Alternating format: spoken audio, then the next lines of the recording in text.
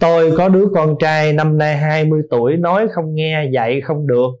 Xin thầy chỉ dùm cách dạy Một đứa con cho nên người hữu dụng. Dạ. Con mình mình nói không nghe, sao? Dạ thưa đại chúng, Rất cảm ơn. Là bởi vì đây là một cái cái tâm của cha mẹ. Đức Phật có dạy trong kinh đó, Con cái của mình nó có ba dạng. Ba dạng con cái. Nếu đứa con nào mà nó sanh ra Mà mình không dạy nó điều lành lẽ phải gì hết Mà tự động ở nơi nó, Biết phát triển cái lành, cái phải ở nơi nó, Đứa con đó gọi là ưu sanh. Đứa con nào mà sanh ra, mình dạy, mình nói, mình làm, nó đi theo mình, nó nghe lời mình, đứa con đó gọi là tùy sanh đứa con nào mình dạy quá trời quá đất mà mình nói năm, nó nó nói sáu, mình nói sáu, nó nói bảy, mình mùng một nó cứ rầm, đứa con đó gọi là liệt sanh. Chữ liệt đây là gì? Chỉ liệt đây là hạ liệt, là thấp kém. Con có ba dạng. Bây giờ quý vị nghiệm coi. Con mình có đứa nào nó lọt trong ba dạng đó không? Đứa nào mình nói từ nhỏ nó nghe đó là tùy sanh đó còn từ nhỏ mình không biết ăn chay muốn tu gì mà tự nhiên nhỏ nó nó là cái người dẫn mình đi chùa đó. Đứa đó là ưu sanh đó. Còn cái đứa nào mà cuộc đời này có bộ liệt sanh nhiều hơn tùy với ưu phải không? Tại sao vậy? Tại vì cái nghiệp của nó và cái nghiệp của mình. Quý vị tưởng tượng đi tiếng anh vốn đã khó học mà gặp mình lại không biết chữ nữa thì làm gì mình học tiếng anh giỏi được. Đó. Tiếng anh vốn đã khó mà mình thì không biết chữ. Ví dụ vậy đó.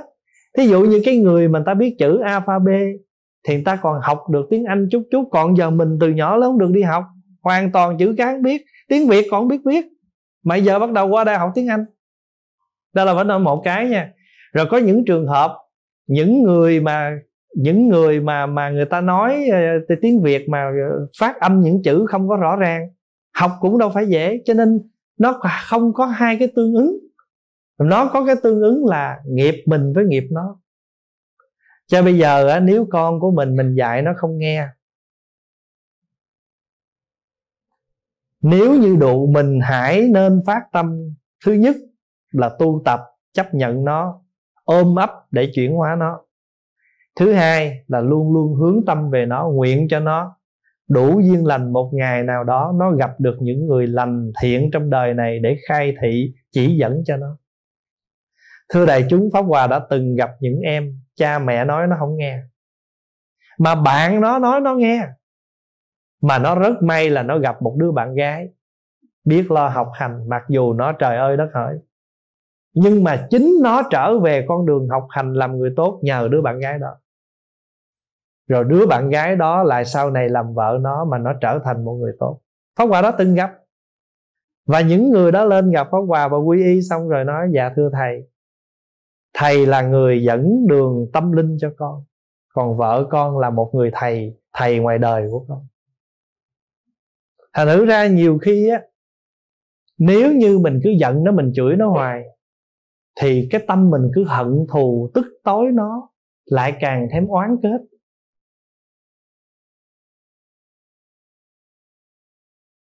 Thay vì như vậy, xót thương nó. Thật sự, thưa đại chúng, chính bản thân nó cũng muốn đâu đâu cứ đứa nhỏ nào nó sanh ra nó muốn nó trở thành một cái đứa, gọi là, hoang hư đâu, nó không muốn đâu nhưng mà cái nghiệp lực trong lòng của nó đẩy đưa, hoàn cảnh đẩy đưa nó nhiều cái yếu tố để nó trở thành một đứa như vậy, mình phải thương nó hơn là mình ghét nó.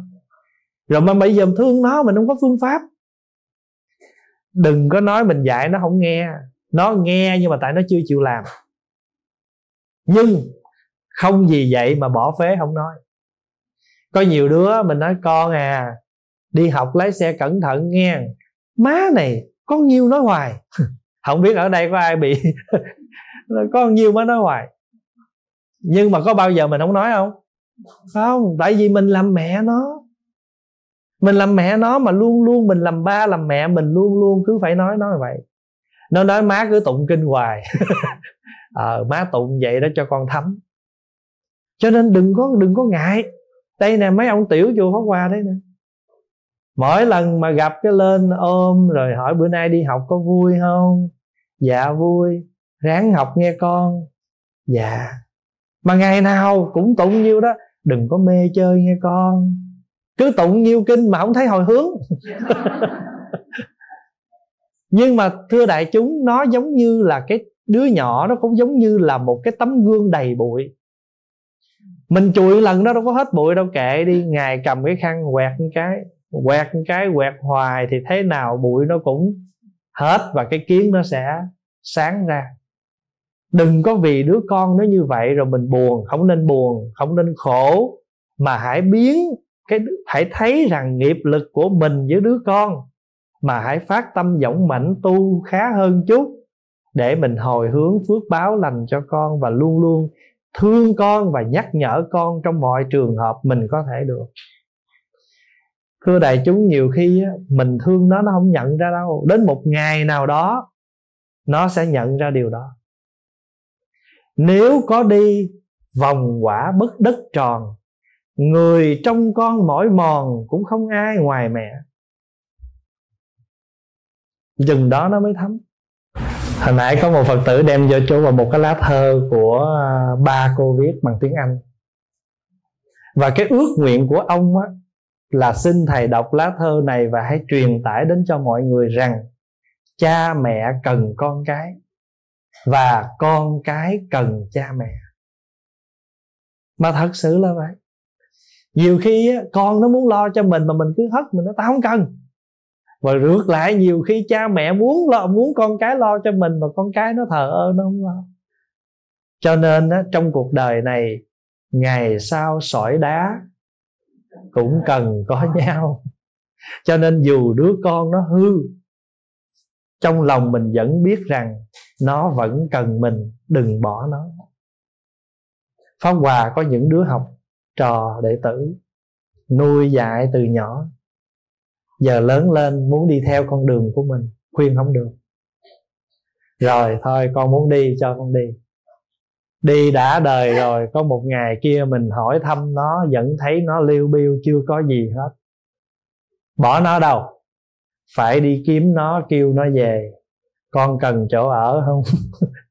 Thầy cúng giường chỗ cho con thầy phải có hiếu với đệ tử. Thưa đại chúng, cứu một chúng sanh đau khổ, đâu phải dễ. Muốn một chúng sanh thối tâm, dễ lắm. Độ một người muốn tu rất khó, cho nên đừng từ nan khi phải cứu độ ai. Bây giờ độ ai không biết mà con mình đây mình bỏ là không được rồi. Cho nên dù đứa con bất cứ cái gì, nó vẫn là con của mình nó vẫn là dòng máu của mình, nó vẫn có mình trong đó. Nhiều khi nó cũng có cái tính ngang ngang của mình trong đó, mình không hay á. Di truyền mà. Cho nên thưa, thì tóm lại một câu là nó là con của mình. Mình ôm ấp nó cũng như một bồ tát ôm chúng sanh thôi. Nè mình nè. Gặp việc đáo đầu mới chịu tu. Phật tiên hiền thánh réo lu bù vái vang khẩn nguyện kêu in ỏi trong lúc bình thường thấy lặng ru. Niệm phật một hồi thôi bỏ luống, tụng kinh đôi chút lại chân luôn tu như điển chớp xương đầu cỏ, giỏi nói hô hào biết lối tu. Khi mình có bệnh là mình kiếm phật dữ lắm. Mình khổ nạn, nhưng mà mình quên, mình xong rồi là mình quên. Nhưng mà phật có bỏ mình không? Phật như thể mẹ tìm con con mà gặp mẹ lại còn lo chi? Lầu vàng đài báo thiếu gì? Ăn thì cơm ngọc, mặc thì áo châu trong tình thương của cha mẹ, không ơn, không oán, không sầu. Chính vì vậy mới không già, không chết, có đâu luân hồi. Tình thương của cha mẹ đối với con không bao giờ sút giảm. Chẳng qua nó giận nó quá, bỏ mặt nó một chút vậy đó. Nhưng mà lâu lâu hỏi thăm, có phải không? Người yêu thôi mình còn bỏ không được mà, sao bỏ con được? Cho nên phóng hòa biết là câu hỏi hay lắm và nên cứ thương nó. Rồi khi mà nghiệp nó hết phước mình đủ. Thưa đại chúng, đời sống mình hai thứ à một là phước, hai là nghiệp. Hãy phước mình hết là nghiệp nó tới. Nghiệp mình nó hết là phước nó tới. Thôi giờ cứ ráng tu tạo phước thì giảm nghiệp. Mà nghiệp mình nó hết rồi thì phước nó tới. Mà phước nó tới thì bắt đầu mình nói người ta nghe. Trời ơi ngồi nói nữa không đó? Ừ. thôi nói gọn ha. Xin thầy chỉ giáo cho con hiểu thêm về kiếp. Chữ kiếp á nó đơn giản cho dễ hiểu thôi. Kiếp á, nghĩa là một khoảng thời gian của một kiếp sống. Và mỗi người có một cái cái chuỗi thời gian của kiếp. Ví dụ như kiếp người khoảng thời gian của một con người là bao lâu? Cao lắm là 100 năm. Nếu mình nói theo cái thời gian phải không? Nhưng mà cái kiếp đó là mình nói thôi. Nhưng mà có nhiều khi mình đang sống trong kiếp độ, kiếp giảm cũng có. Ta là giống như mình đây nè. Sức khỏe của mình mỗi ngày mỗi giảm chứ đâu có tăng. Mà nếu tăng là tăng cái gì? Tăng tăng huyết áp. Pháp Hòa có làm cái bài thơ ba cao một thấp.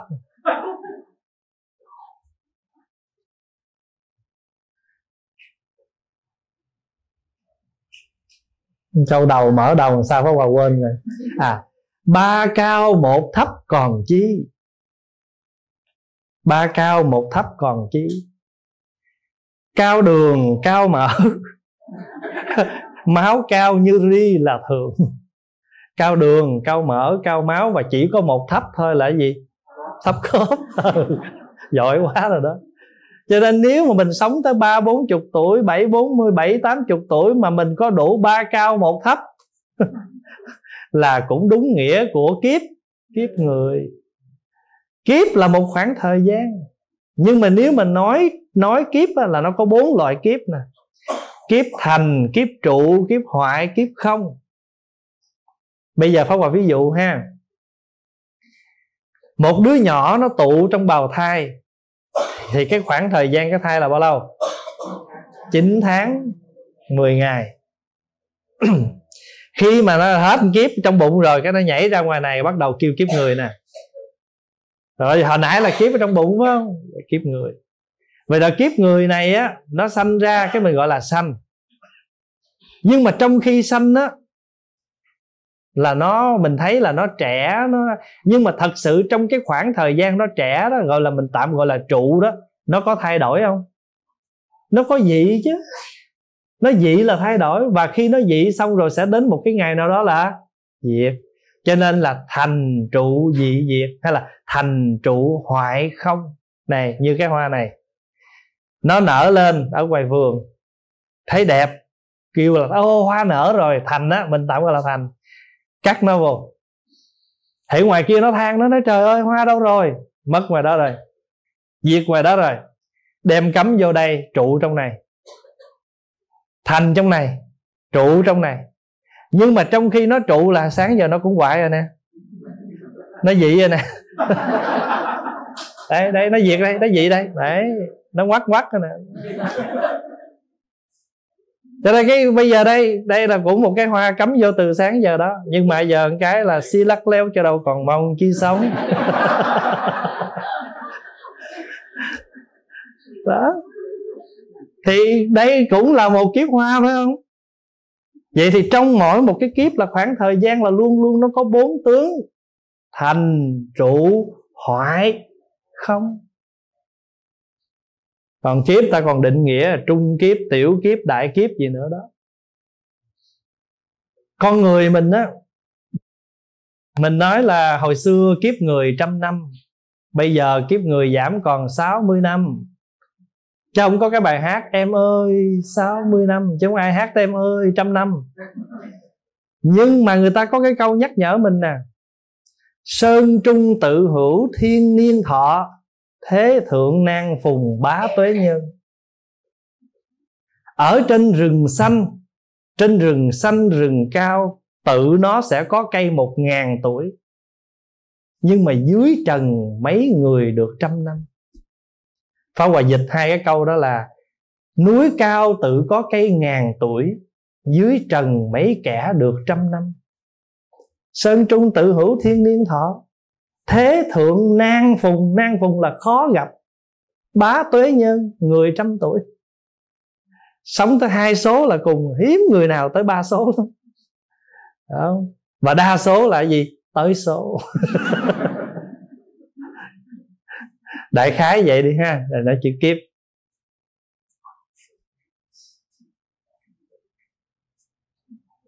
Thầy hoan hỷ chỉ dùm làm sao con có thể xem nhẹ đồng tiền. Oh. đừng có để nhiều trong túi thì đâu có nặng. Để vài ba đồng thôi còn nhiêu đưa thầy giữ cho. Làm sao để con xem nhẹ đồng tiền? Con hiểu hết những điều thầy dạy. Con biết tiền chỉ để phục vụ cuộc sống. Con cũng không thiếu ăn mặc. Nhưng con lại hay đau khổ vì tiền luôn muốn kiếm tiền nhiều để mua nhà, cứ buồn vì không có việc làm tốt, không kiếm được nhiều tiền. Trong khi con đang có một gia đình hạnh phúc, con luôn trách bản thân mình. Quá tệ, con cảm ơn vì có duyên được biết đến thầy. Biết đến thầy mà không thương thầy, không nghĩ thầy, không nhớ thầy mà nhớ tiền, nghĩ tiền hoài.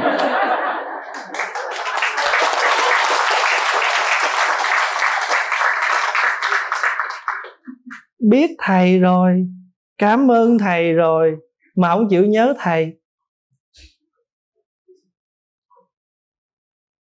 Khi mê, bùn chỉ là bùn.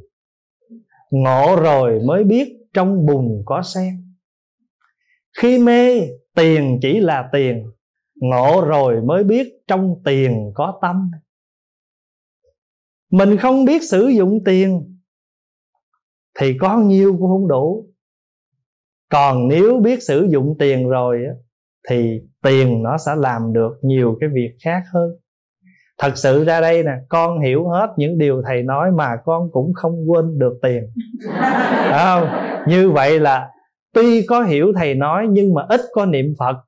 Niệm pháp niệm tăng niệm giới niệm thí niệm thiên niệm vô thường niệm hưu tức niệm hơi thở và cuối cùng là niệm chết mà trong 10 niệm không có niệm nào niệm tiền mà mình lại thêm vô niệm thứ 11 thưa đại chúng Phật dạy chúng ta 10 niệm nha một là niệm Phật hai là niệm Pháp ba là niệm Tăng bốn là niệm giới bốn là niệm năm là niệm Thiên sáu là niệm Thí phải không bảy là niệm vô thường tám là niệm hưu tức chín là niệm hơi thở mười là niệm chết bây giờ muốn để đừng nghĩ tới tiền nữa đó, mình luôn luôn nhớ đi, vô thường với chết.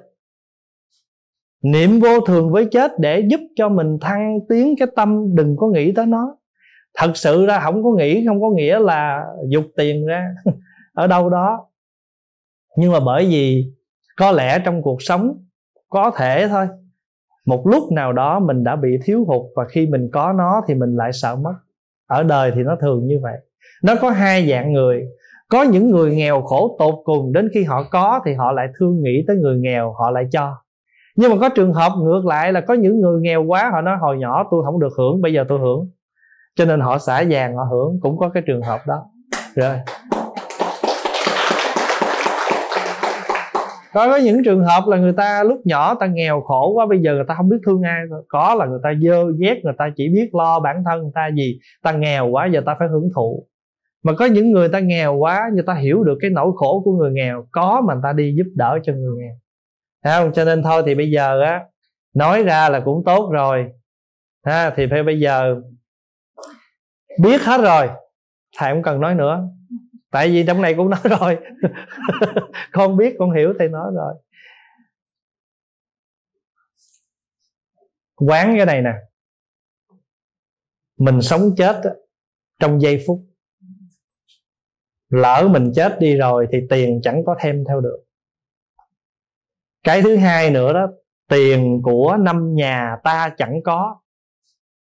Quý vị nhớ câu đó không? Tài thuộc ngũ gia, phi ngã hữu. Thân quy tứ đại, bổn lai không?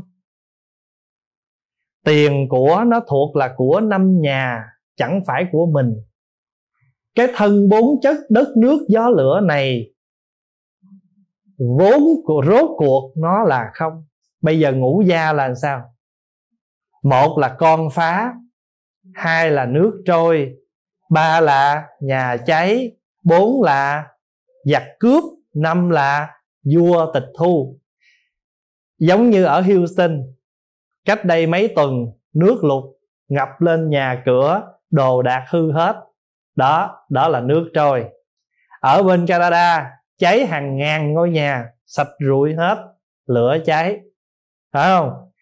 Có những người có tiền của bị con phá có phá của phá sản có những người bị tịch thu và có những người bị ăn trộm nó vào. Thôi thì bây giờ muốn để cho cái tâm mình đừng nghĩ tới tiền nhiều thì thứ nhất á, là mình phải thường quán vô thường mỗi khi nó khởi lên ham tiền mình quán lại thôi. Thiểu dục tri túc, an bần thủ đạo. Ít muốn là vui. Tri túc biết đủ là vui. Ham muốn nhiều, khổ đau nhiều. Tự nhắc nhở mình những cái lời như vậy để nó lắng xuống. Không thể nào trong một ngày phật tử có thể làm liền được đâu. Nhưng mà hãy nó khởi lắng khởi lắng làm riết đi. Nó mệt mỏi, nó khỏi khởi nữa thì mình khỏi lắng cũng giống như đứa nhỏ, nó mới đứng dậy, kêu nó xuống. Tâm của mình á, thưa thưa vị phật tử đây, vị đầy á, đang vướng tiền cho tất cả chúng ta mỗi người vướng kiểu mà không biết á. Có nhiều người đâu có vướng tiền mà vướng tình. Có nhiều người không vướng tình mà nhướng danh vọng, vướng địa vị. Thành thử ra lúc nào cũng lo tới cái danh vị của mình lúc nào cũng lo tiếng tâm của mình. Cho nên đừng có buồn không phải mình là một nạn nhân của tình tiền tù tội đâu. Mà bây giờ anh nào vướng tình tiền tu tội cuối cùng là tu. Chỉ có tu mới trừ khử được những cái vướng này. Chứ thật sự không phải một mình đạo hữu vướng đâu. Đừng có buồn đừng có ngại gì hết. Mà thật sự ra chúng sanh mình á, ở cõi đời này có vướng với đúng nghĩa của con người đó. Ờ, hỏi coi phải không? Nghe một bản nhạc nó là giải trí thôi à mà gặp ca sĩ không hát không hay coi. Ngồi chê từ đầu bản tới hết dĩa luôn. Đó. Mặc dù biết là giải trí nhưng mà cũng phải chê khen chút cho đã. Đó là bản cái huân tập của con người cho nên, thưa đại chúng, là tất cả chúng ta ai cũng cần niệm hết á. Niệm phật, niệm pháp, niệm tăng, niệm thí, niệm giới, niệm thiên, niệm hưu tức, niệm vô thường, niệm chết đi để bỏ vượt cái vướng tình, vướng tiền, vướng đủ thứ, mỗi người mỗi kiểu. Không ai mà không có vướng hết á. Có nhiều người ngồi đây chứ mỗi người vướng một cách. Bây giờ mấy đứa nhỏ nó vướng rồi đó. Nó vướng game. Người lớn thì vướng iphone mỗi người, mỗi vướng. Lòng con luôn hướng về phật pháp. Con tránh ác, làm việc ác, và ráng làm tất cả việc lành. Nhưng con ít có thời gian niệm phật, vì bận rộn công việc và cũng hơi làm biến very honest. Tiếng mỹ nó có câu, honestly is the first policy. xin thầy chỉ rõ cho con biết việc ít niệm phật như vậy sẽ cản trở như thế nào trên bước đường tu học của con. Nếu mà con không có niệm phật phật cũng sẽ cảm ơn tại vì bớt một người réo ổng.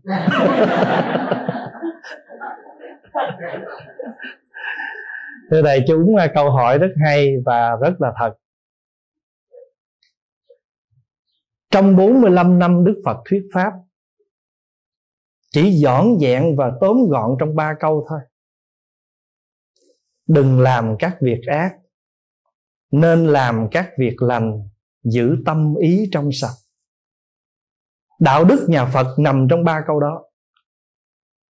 45 năm thuyết pháp của Đức Phật nằm trong ba câu đó. Vậy thì Phật tử này đã summarize được lời Phật rồi nè. Con cố gắng lánh ác làm lành, Còn chuyện niệm Phật ăn chay là phụ. Don't worry Mình niệm Phật thật nhiều, Nhưng mà sân si còn đầy dẫy Thì cũng được, Nhưng mà được cái lúc niệm thôi. Thấy không? Cái lúc mình niệm thì nó giảm thôi, chứ còn ngưng cái nó phát bệnh trở lại. Cho nên thưa đại chúng, cái chính yếu là làm sao chúng ta lánh ác làm lành. Nhưng mà ở đây có một câu nè có một chút làm biến niệm phật chứ không phải không có thời gian. Nói hồi cũng lòi cái thiệt. Vậy thì thời gian chúng ta có, nhưng mà chúng ta làm biến. Mà thưa đại chúng, làm biến, đạo phật gọi là giải đãi. Giải đãi nghĩa là gì?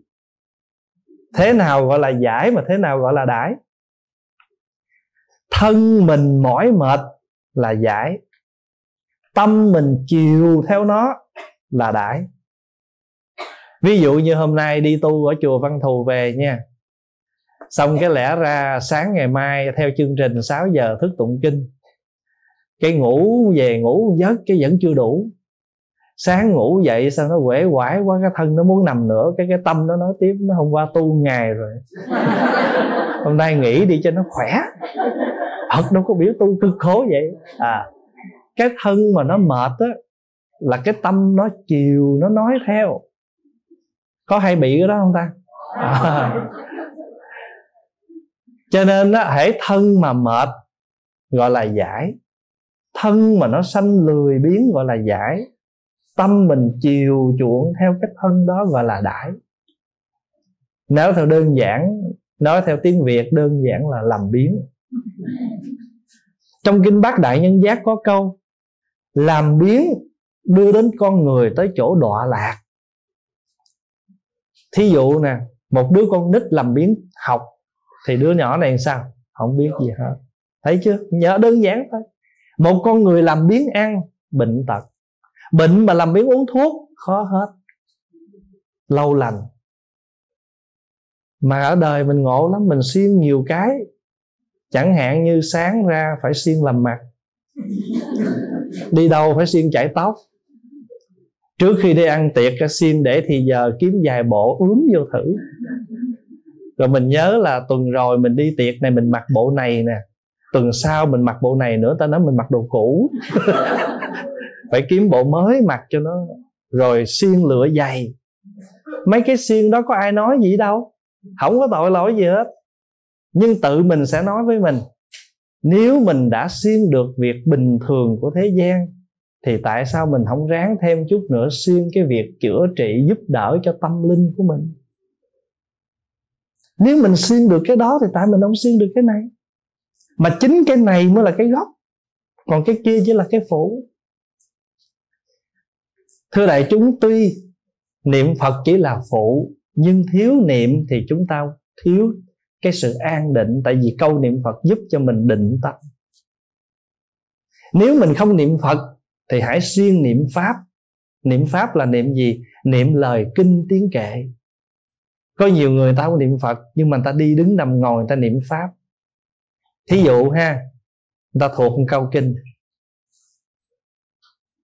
Như mái nhà khéo lợp, mưa không thể lọt vào cũng vậy tâm khéo tu, phiền não không thể hại. Như mái nhà vụn lợp, mưa ắt sẽ lọt lọt vào. Cũng vậy tâm không tu, não phiền thường hay hại. Nhớ cái câu đó thì gọi là niệm niệm pháp. Nếu mình thiếu tu, cũng giống như nhà thiếu lợp lợp mà không khéo, thì mưa nó lọt vào tâm mình không vững chãi thì bị phiền não, lợi danh khen chê, thị phi, nó làm phiền mình. Lỡ hôm nào mình ra đường gặp người ta chê mình, cái mình hơi trao đảo. Nhớ lại liền một câu kinh. Như hòn đá kiên cố, không gió nào lay động. Bậc trí cũng như thế, không động giữa khen chê. Nhớ cái câu đó gọi là nhớ pháp. Vậy thì mình không niệm phật nhưng mà mình niệm niệm pháp. Mình có ba cách niệm nhớ không? Niệm phật niệm pháp niệm tăng. Nếu thì, thí dụ như giờ ai chọc mình giận quá thay vì mình định săn tay áo lên mình nói cái nó không được được để tôi đi niệm phật. Cái mình kiếm một góc nam mô di đà phật nam mô di đà phật. Đó gọi là niệm phật lấy câu niệm phật giúp cho tâm mình định. Rồi mà niệm hoài nó chưa hết cái niệm thêm câu nữa fantasy ra. Nó a di đà phật mỗi người mỗi tật. quan âm bồ tát mỗi người mỗi khác. Đại thế chí mỗi người mỗi ý. Địa tạng vương mỗi người một phương.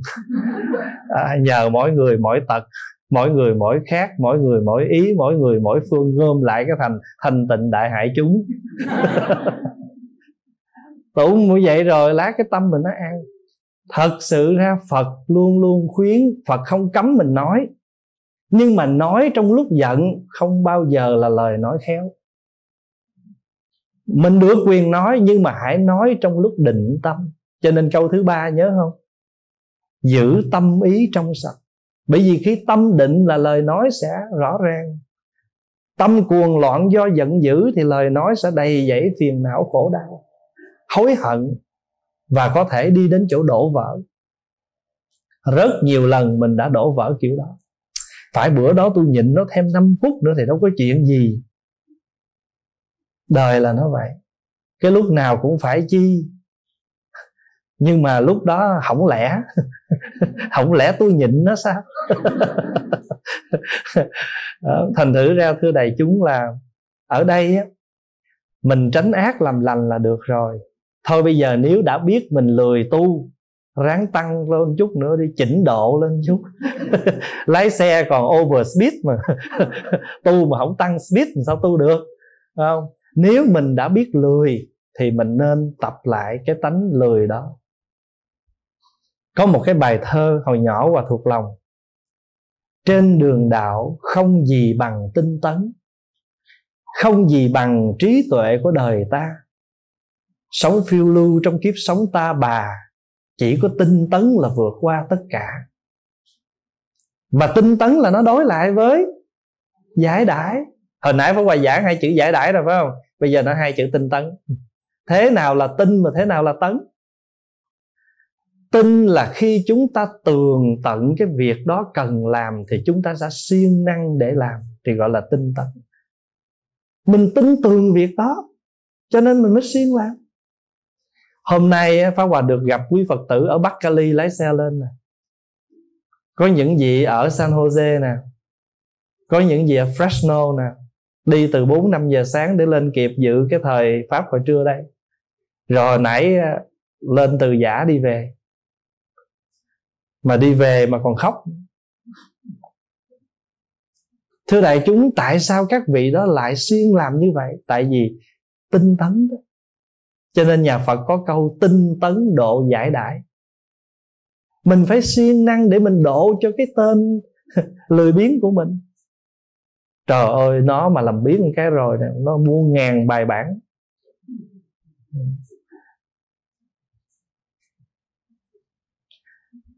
Cho nên nó nó trở ngại như thế nào trên bước đường tu học? Thật ra thì nó chướng ngại một chút là ở cái chỗ chúng ta không đi xa tích niên hành xứ, thốn bộ bất di. Chỗ đi năm trước, năm nay một bước không dời. Không có tiến được. Nhưng mà cái cốt ở đây là đã có được cái hay rồi nè. Ráng làm lành lánh ác, tốt lắm rồi đó. Nhưng mà ở cái đó, ở cái hạnh nguyện, còn nội tâm cũng phải cần lắm. Cho nên có thời gian niệm phật tụng kinh để chuyển hóa nội tâm của mình thôi bây giờ nếu mà mình ngoài niệm phật, nghe pháp nghe pháp thêm để nó nó tăng trưởng cái cái tinh tấn lực ở trong mình. Cho nên chúng ta có ngũ căn, ngũ lực trong đó có tính tấn tấn là siêng năng, niệm định tuệ.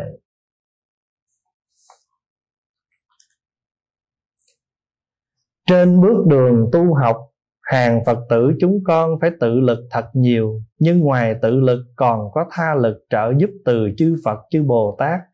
Xin thầy từ bi chỉ rõ cho chúng con biết thế nào là tha lực và làm thế nào chúng con phân biệt giữa tha lực và sự mê tín để chúng con khỏi lầm đường lạc bước.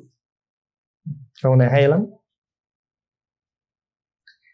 Chúng ta tu á, chúng ta có nương vào hai cái lực tự lực. Tức là mình tự mình phải siêng năng tu tập. Tha lực, tức là sợ trợ giúp ở bên ngoài của phật, của bồ tát và cũng như của tăng thân, đạo hữu của mình.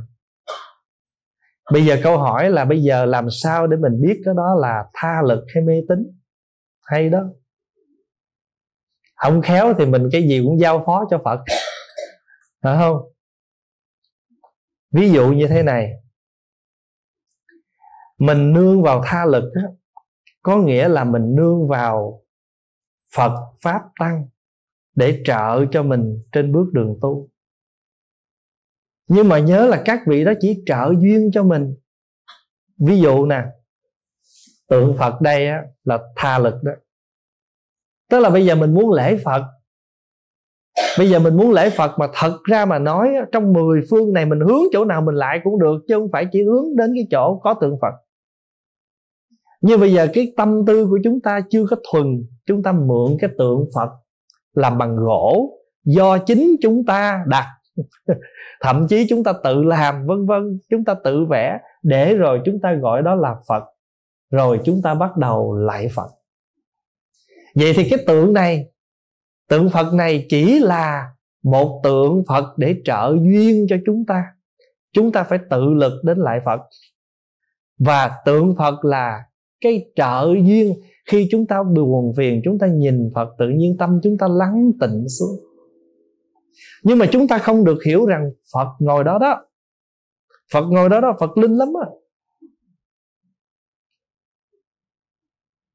Cha phật không có độ, phật không có ngồi đó đây là tượng phật. Thôi cho nên hồi xưa các tổ mà để tránh cái trường hợp này các ngài hay nói tượng phật bằng gỗ không độ được ngọn lửa.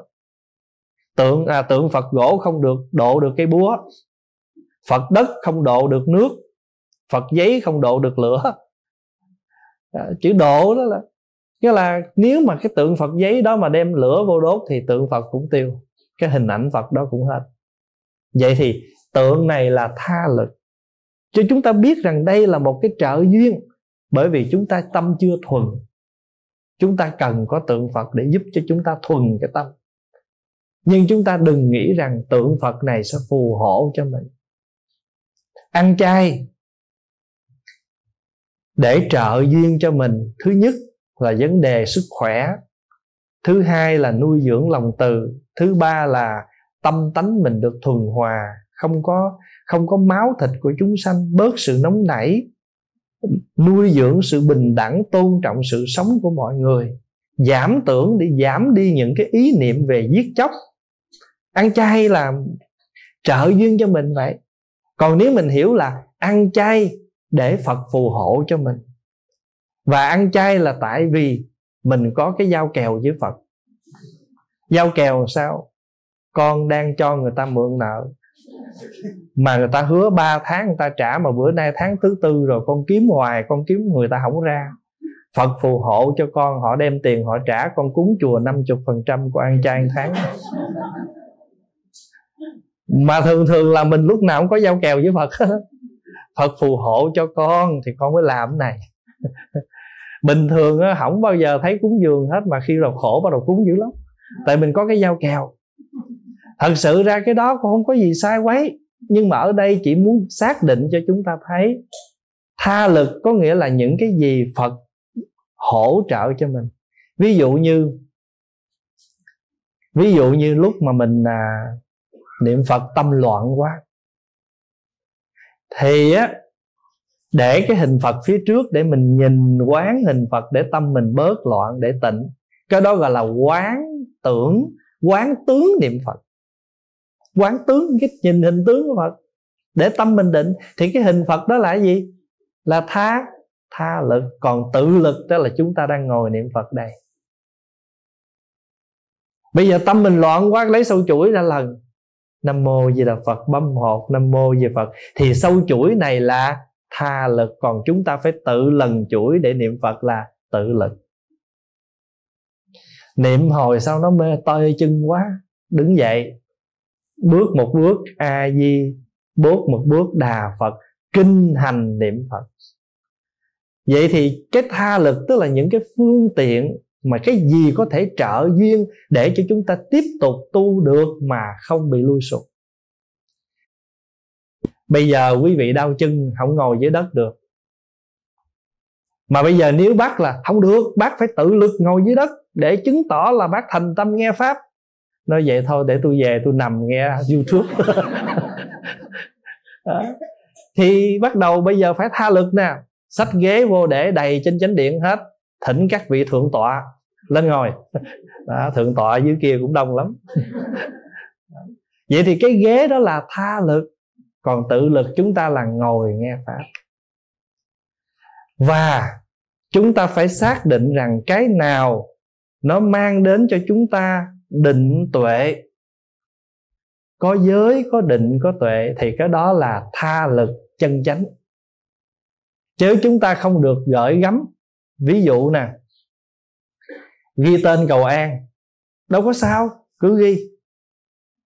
Nhưng đừng nghĩ rằng ghi như vậy rồi là quanh năm mình bình an. Nếu chúng ta về nhà không chịu ứng dụng, nhường nhịn với nhau.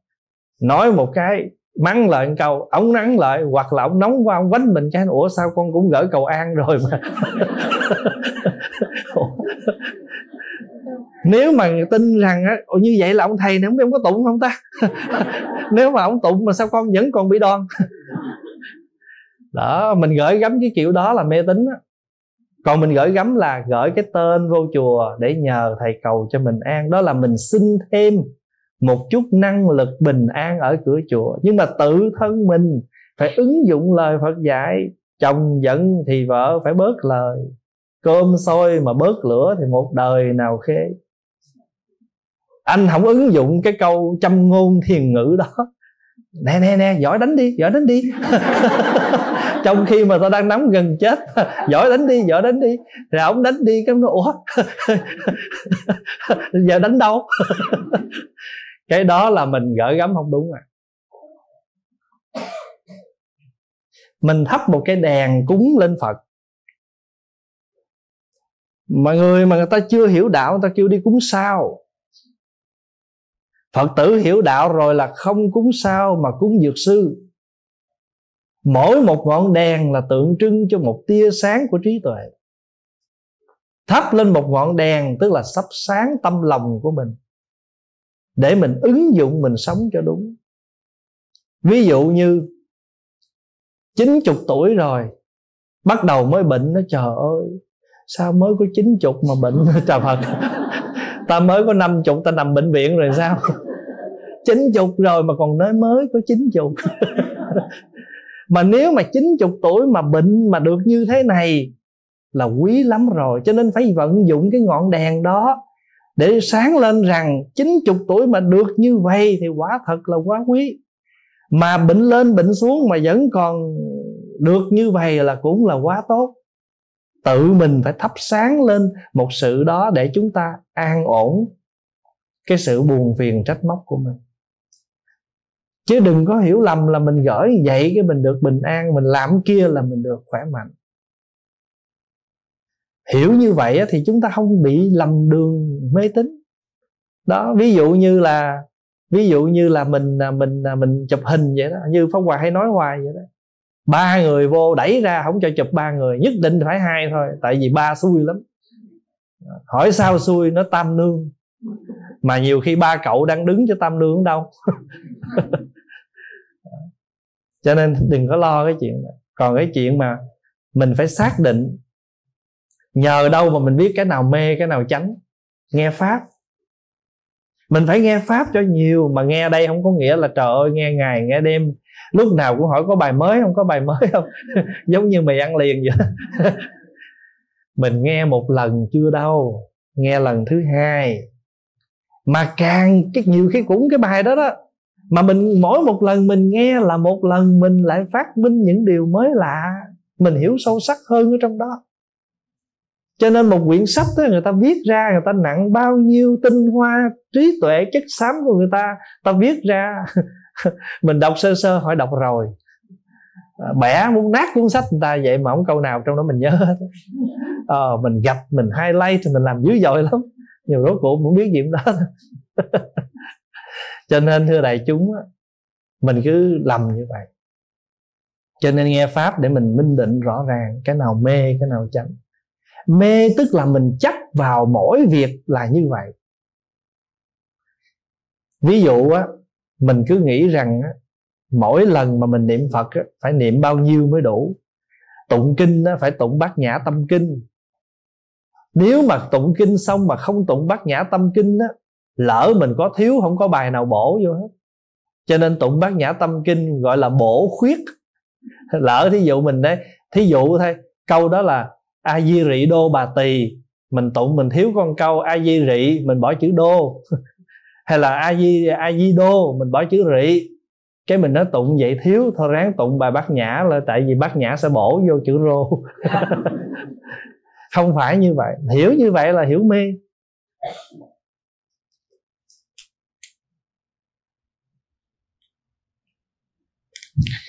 sau khi quy y xong thì làm sao liên lạc với thầy để được học hỏi thêm Phật pháp vì thầy ở xa quá?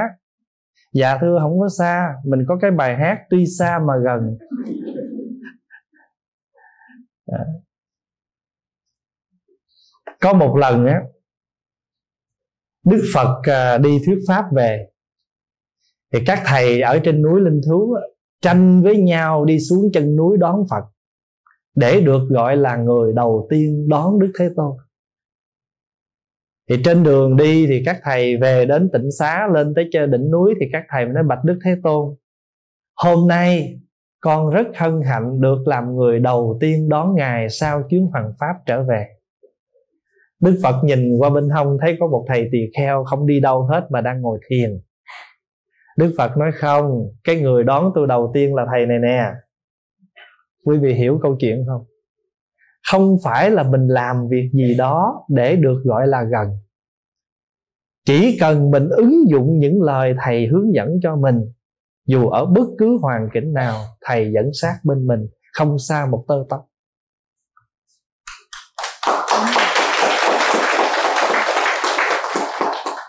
Bây giờ nói tới đây định nghĩa hai chữ thân cận. Thế nào là thân và thế nào là cận? Chúng ta thường cứ nghĩ rằng ở sát bên kêu thân cận lúc nào cũng đi chung với nhau kêu thân cận đó. Trong kinh định nghĩa chữ thân cận nè thân cận có năm cách. Ở chung là một ở lâu là hai quán sát là ba trí tuệ là bốn ứng dụng là năm. Ở chung là thân cận một nghĩa rồi phải không? À, ở lâu là nghĩa thứ hai. Có không? Hai vợ chồng có sống chung vợ lâu không? Nhưng mà không hiểu nhau là chưa đủ thân cận nha. Không quán sát nhau không qua, không gọi là thân cận nha. Hồi lúc mà mình mới quen á, mình hay send cái message lắm, em đang ở đâu? Có cần anh đi đón không? Mà tới hồi chán giao rồi bà text bà nói, anh ơi, chở em về, tôi đang bận, bà nhờ bạn bà đi. cho nên mình phải ở lâu, ở chung, ở lâu mà phải hiểu nhau. Quan sát nhau, tức là quan tâm nhau. Còn nếu mình là người đệ tử, ở lâu với thầy, ở chung với thầy, ở lâu với thầy, phải quan sát, cử chỉ, hành động, việc làm của thầy để tăng trưởng trí tuệ cho mình và ứng dụng những gì thầy dạy mình qua thân khẩu ý, thế gọi là thân cận định nghĩa gọn gàng, thân là ở sát bên, cận là làm theo những lời thầy mong mỏi. Có một vị thầy làm một bài thơ thiền. Đêm đêm ôm phật ngủ, ngày ngày ôm phật thức. Nói trời, tu sao mà romantic quá. Vừa rồi bên Atlanta có một chị phật tử chị tới chị xin chụp hình. Chị đứng chị vừa bước vô sát bên chị nói nhỏ liền trời ơi thầy biết không 8 năm nay đêm nào cũng cũng ôm thầy ngủ hết. Ôm cái gì? Ôm cái ipad đó. Mà nói không có gõ gàng tám năm nay đêm nào cũng ôm thầy ngủ mà may phước là thời buổi bây giờ. Người ta có cái ipad ta hiểu mình đang nói gì, nghe. Nếu mà không ai hiểu nói gì là chết á. Một anh khác, con cảm ơn thầy. Nếu không có thầy thì con không sống tới ngày giờ này. Rồi mẹ chạy tới nói, nó nhờ thầy lắm đó. Nó không là đứa con này. Nó đau khổ và nó chết rồi thì thưa đại chúng là tại sao là đêm đêm ôm Phật ngủ mà ngày ngày ôm Phật thức bởi vì khi trong lòng chúng ta có Phật và chúng ta sử dụng được những lời Phật dạy thì có phải lúc nào mình cũng ngủ với Phật không? Và khi mình thức thì Phật mình cũng thức theo. Nếu mình á, mà trong lòng mình có Phật thì mình bằng tuổi với Phật mà Phật cũng sẽ bằng tuổi với mình. Có một người khác nhắc tới hỏi thưa thầy năm nay thầy bao nhiêu tuổi? Ông nói tôi bằng tuổi phật di đà. Cái vị phật tử kia ngó lại nó ủa vậy phật di đà nhiêu tuổi? Nói phật di đà bằng tuổi tôi. Tại sao nói câu đó? Bởi vì tôi tí dụ tôi mang hình hài của một con người 50 tuổi mà lúc nào tôi cũng nhớ Phật nghĩa là tôi bằng tuổi Phật Di Đà. Phải không?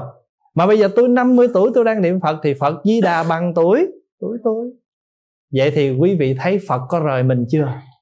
Thầy không rời mình, gan tất nào hết. Trời ơi, bây giờ pháp thân của thầy ở trong xe, ở trong ipad, ở trong nhà bếp, ở trong phòng ngủ, thậm chí ở ngoài gara sửa xe. Thầy có ba thân. Cái nhục thân, cái thân mà thầy đang thọ đây nè. Cái thân mà thầy đang thọ đây đó, gọi là báo thân rồi á, ngày hôm cả tuần lễ nay là ở Minnesota, ở Atlanta, ở Augusta của North Carolina, à, của South Carolina, rồi tối hôm qua ông kia ở Cali, rồi tối ngày thứ sáu này là ở San Diego, rồi sáng thứ bảy lại hiện thân ở Canada. Mình đi như vậy gọi là ứng thân. Mình có báo thân và mình đang sử dụng ứng ứng thân còn pháp thân của mình, tức là những cái gì mà chúng ta đang sống cho mọi người. Ở nhà, quý vị, pháp hòa tin chắc rằng pháp hòa đã về thăm hết rồi đó. có không? Pháp hòa về nhà, quý vị thăm hết rồi. Cho quý vị có bao giờ xa em đâu. Và không cần phải hát đừng xa em đêm nay lúc nào thầy cũng có với mình. Còn nếu mà nói sự liên lạc nếu mà thật sự trong cái phương tiện bình thường thôi. Bây giờ có email. Quý vị gọi điện thoại ít gặp. Tại vì lúc này tu tiên. Thành bận họp với các cảnh giới tiên. Nhưng mà quý vị có thể send email. Mà khi nào có cơ hội Pháp Hòa mở mail thì Pháp Hòa sẽ nhận được những cái câu hỏi của đại chúng. Hiện bây giờ trong mail Hòa rất nhiều email mà khi nhiều khi bận họp tiên kiểu này là đâu có thời gian check mail. Thì khi nào ở về kiếm chỗ nào ở yên một bữa hai bữa rồi bắt đầu bắt đầu mới check mail. Mà nếu mà quý vị mà gửi mail mà không thấy trả lời phải quan hỷ tại vì mail đang trên đường móc. Cho nên gọi là mail móc. Quý vị gửi mail là luôn luôn quý vị gửi pháp hòa canada a móc mà. Chấm ca mà. Thành thử ra nếu quý vị chưa nhận được câu trả lời, cũng cứ quan hỷ, hả? Mèo đã móc.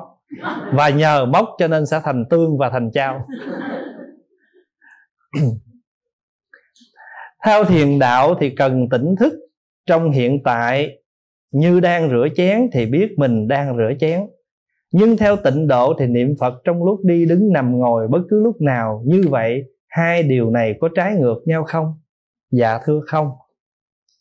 Một bên á, thì tỉnh thức làm gì biết mình đang làm cái đó. Còn bên tịnh độ thì lấy câu ni di đà làm chuẩn cho mọi hành động của mình thì cái nào cũng để trở đưa tâm mình trở về một mối để đừng loạn thôi ví dụ mình đang đi đang đi mà không biết mình đang đi. Đang đi mà lo nghĩ chuyện quá khứ lo tương lai cho nên dấp cục gạch té. Mà dám cục gạch té cái nói trời ơi tôi đang tu mà sao phật không phù hộ? Còn ví dụ như cái người người ta đi ta, ta biết là ta đi mà ta niệm phật thì tỉnh giác với câu niệm phật thì hai cái đó cũng chỉ là một phương tiện để đưa tâm mình trở về. Ví dụ như bên này niệm nam mô di đà phật lúc nào cũng a di đà phật a di đà phật. Còn bên này thì lúc nào cũng ăn cơm, biết ăn cơm. Rửa chén, biết rửa chén. Thì cũng như mình niệm phật, nhưng mà thay vì mình niệm tiếng phật thì mình niệm việc làm. Tôi đang rửa chén, tôi đang ăn cơm. Bụng tôi bắt đầu no, phải không? Hay là bụng tôi đang đói? Biết rất rõ trong khi mình mọi hiện khởi của tâm mình thì cũng tương đồng với câu niệm phật là biết mình đang niệm phật. Hai cái nó đều đưa mình trở về với cái tĩnh lạc thôi chứ không có khác. Cũng giống như hồi đó mình học làm toán. Người ta có tiền ta mua cái máy tính ta bấm. Mình không có tiền, có bó đũa. Lấy bó đũa ra 10 chiếc, thêm 10 chiếc đếm thành hai chục chiếc. Cái nào cũng để chỉ cho mình làm toán thôi nhưng mà đối với một người người ta có cái máy thì người ta bấm bấm nó lẹ. Còn có một người người ta không có thì ta chuốt bó đũa. Cũng giống như quý vị ăn chay. Người ăn chay thuần túy rồi, không cần phải lo dịch quay và heo quay.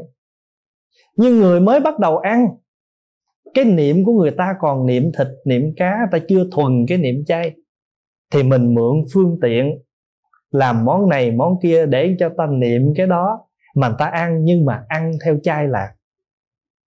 Bây giờ Pháp Hòa kể câu chuyện đại chúng nghe. Có người sẽ nói rằng đã ăn chay nói chi cái chuyện gọi là thịt cá rồi. Mình hay nói là cái người ta ăn mặn, tao nói ngay hả? Tôm, nói tôm mà còn ăn chay nói dối lắm, lấy bánh mì rồi phết bột rồi cuốn tẩu ki lên nướng nướng kia heo quay.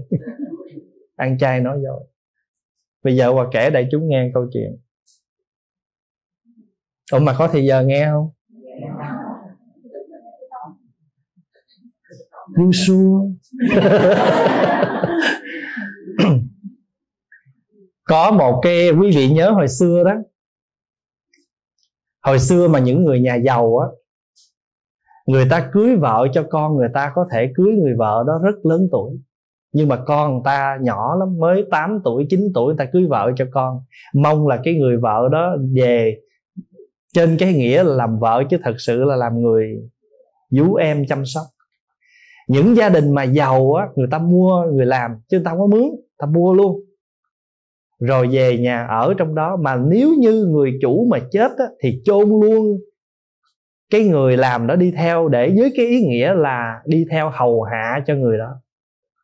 Mà lỡ người chồng đó có chuyện gì thì người vợ đó phải được chôn theo luôn để gọi là ý nghĩa hầu hạ thì các tổ của mình thấy cái điều đó không nên. Một cái người chết họ có cần ai hầu hạ nữa đâu mà đi chôn sống một con người khác nhưng mà con người đó họ không thể nói được tại vì họ đã bị người ta mua rồi. Cho nên các tổ mới chế ra một cái hình thức là làm một cái hình nộm một cái người hầu. Rồi gai mốt và cái người nhà giàu đó họ chết đó thay vì họ chôn sống một cái người làm đó biểu họ đi ra chợ mua mấy cái hình mà cái người người hầu làm bằng giấy á, đốt theo đi. Quý vị có từng thấy mấy cái hình đó không? À, tỳ nữ cầm uh, bình trà rồi cầm cái chổi rồi vậy đó để gọi là đi hầu. Như vậy thì cái mục đích cái tượng giấy đó để cứu ai? Cứu cái người sống. Vậy thì cái người bằng giấy đó, đó bị đốt có giá trị không? Có giá trị cứu người sống. Ở đây cũng vậy. Nếu một con tôm giả được làm ra bằng tàu hũ mì căng mà nó cứu được một con tôm thật, thì con tôm giả này có giá trị không? Thế tại sao chúng ta khó chịu chi chuyện đó?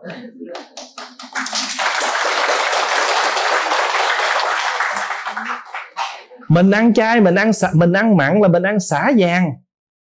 Người ta ăn chay tức là người ta chỉnh đốn món ăn người ta lại để không ăn sinh mạng của con vật khác mà mình cũng còn khó với người ta nữa. Bắt ta ăn tàu hũ rau luộc rồi đến hồi người ta xanh dờn lên cái mình nói đó thấy không? Ăn chay đó, thấy chưa?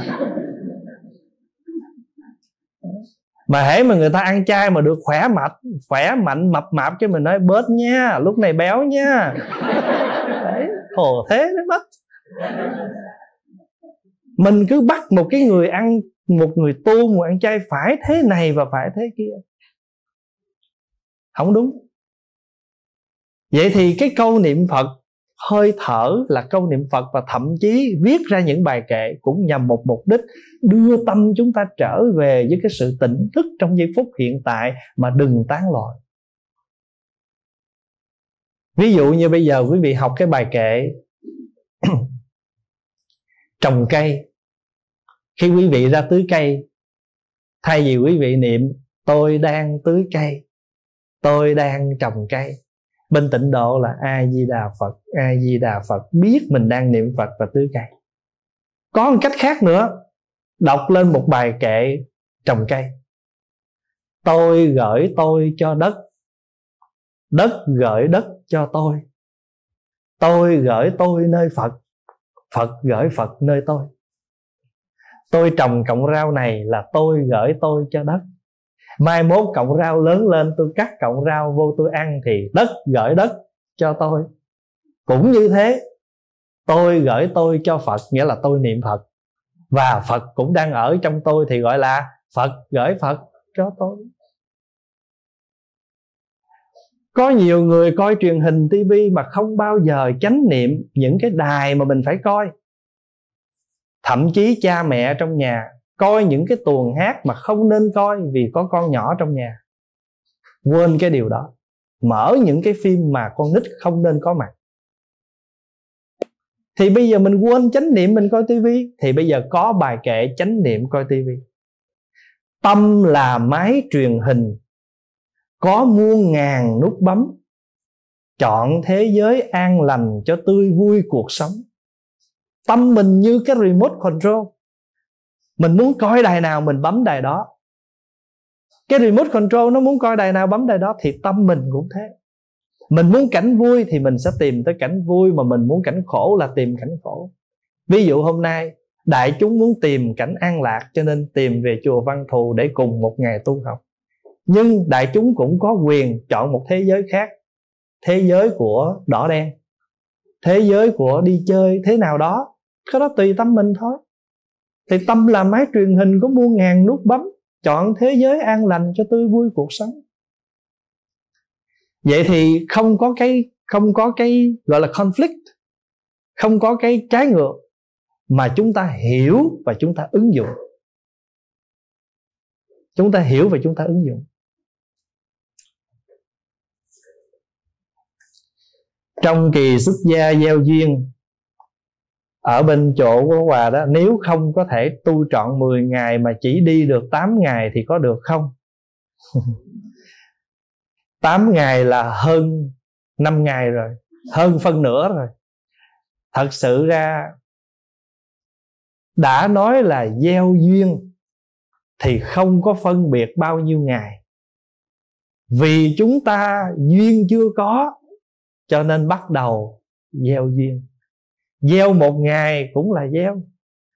Phải không? Cho nên ai tu được mấy ngày cũng quý hết. Đừng nghĩ rằng phải ăn năm cái bánh mới no. Nhưng nếu không nhờ bốn cái bánh trước thì làm sao cái bánh thứ năm mình no được? Cái bánh thứ năm sở dĩ nó no là nó nhờ bốn cái bánh trước. Thế thì chúng ta phải ăn một cái, hai cái, lưng lửng rồi, ba cái, khá khá rồi. Bốn cái rồi tới cái thứ năm là nó phải không? Nếu mình cứ đợi tới chừng nào ăn cái nó no thì không bao giờ có. Xin thầy hoan hỷ chỉ dùm cho con biết ý căn ở đâu. Và pháp trần là gì? Thưa đại chúng, con người chúng ta có năm căn. Mắt, tai, mũi, miệng, thân. Năm cái căn này mình thấy được cho nên gọi là ngũ căn. Có một cái căn thứ sáu gọi là ý căn. Nó không có hình tướng. Mà chúng ta chỉ nhận biết qua hành động lời nói để biết được ý của mình thôi. Tại nó không có hình tướng. Cũng giống như cái tâm sân mình đâu có biết nó ở đâu. Nhưng mà có thể nhận ra lúc người đó đang sân không? Nhận qua con mắt trợn trắng à, ngăn răng bắt đầu nghiến lại tay chân bắt đầu cung lên nè là mình tạm tạm gọi là ấy đấy tâm sân đó. Thí dụ vậy. Cho nên cái ý cho nên người ta tạng người ta tạc cái tượng của đức di lặc á bồ tát á, có sáu đứa nhỏ đó. Sáu đứa đó mắt tai mũi miệng thân ý tượng trưng cho lục tặc tức là sáu đứa giặc nhưng mà thỉnh thoảng quý vị chỉ thấy có năm thôi. Bởi vì nói lên năm căn là mắt, tai, mũi, miệng, thân mà không có ý. Bởi vì cái ý là cái mà nó không có hình tướng. Chính nó không có hình tướng cho nên nó mới sao? Nó mới thiên hình, vạn trạng. Nó ghê gớm lắm. Cho nên nhà phật chúng ta mới tu thân, tu miệng, tu ý.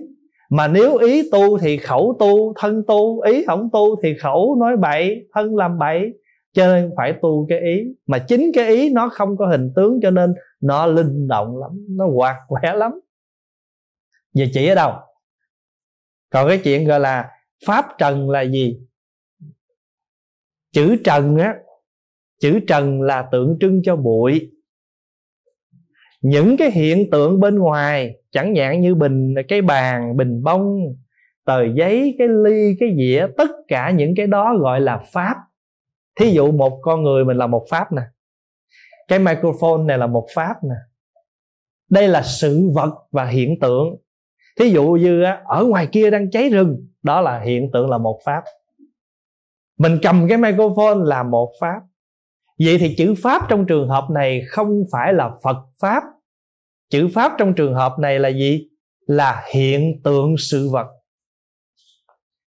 Nhưng tất cả hiện tượng sự vật này nó đang hiện diện ở đây và mỗi ngày chúng ta phải tiếp xúc với nó. Nhưng nếu chúng ta tiếp xúc với nó mà chúng ta không bị dính mắc gì với nó hết, thì nó là pháp cảnh. Nó là cái cảnh duyên, hiện tượng. Còn nếu chúng ta lỡ đắm chìm nó thì chừng đó nó trở thành ra trần, nghĩa trở thành ra bụi. Nó bo đời mình nó làm phiền mình. Ví dụ như, đại chúng ngồi đây. Pháp Hòa nhìn mọi người như những người Phật tử. Không có gì đặc biệt để mình phải dính mắt thương yêu hết. Mà có thương yêu là thương yêu bình đẳng trong cái tinh thần Phật tử thôi. Tự nhiên có người nào đó mình thương Thương kiểu là dính mắt thì cái người đó lập tức trở thành trần mà không phải là cảnh. Hay là cái microphone này nè. Đến chùa này có cái microphone hay quá, Xài rõ. Thì cái microphone này là cảnh. Trời ơi, đi tới đâu mà giảng, ta đưa microphone của nó. Không, tôi muốn giống chùa văn thù. Thì cái máy này, cái máy của chùa văn thù lúc này nó trở thành ra gì? Trần. Thưa đại chúng, cái hiện tượng sự vật là luôn luôn nó có mặt đúng không? Chẳng hạn như một ngày hôm nay chúng ta ngồi có mặt ở đây là gì? Là cảnh hay là trần? Cảnh, tức là đến giờ thì tập hợp, nghe pháp, tu tập, an vui. Hết giờ chúng ta trở về bình an. Và chúng ta luôn luôn ứng dụng những gì chúng ta lượm lạc được ngày hôm nay. Tuần, năm sau pháp hòa trở qua nữa, quý vị đừng bắt buộc khung cảnh nó phải như thế này, y hệt nữa. Cái chỗ, cái chú đó ngồi số 1 tại vì thấy ông thầy rõ quá.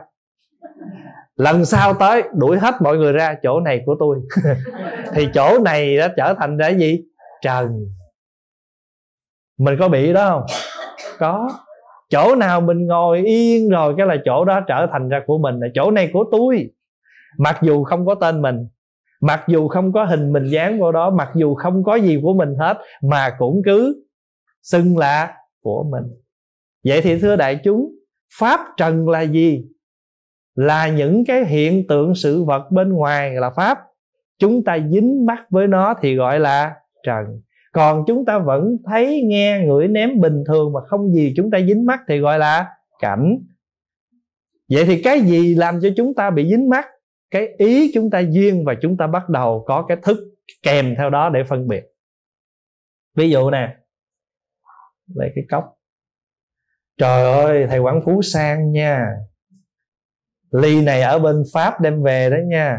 Không, ở cali kiếm không ra nha. Phân biệt liền, ly này của của pháp, không phải của mỹ.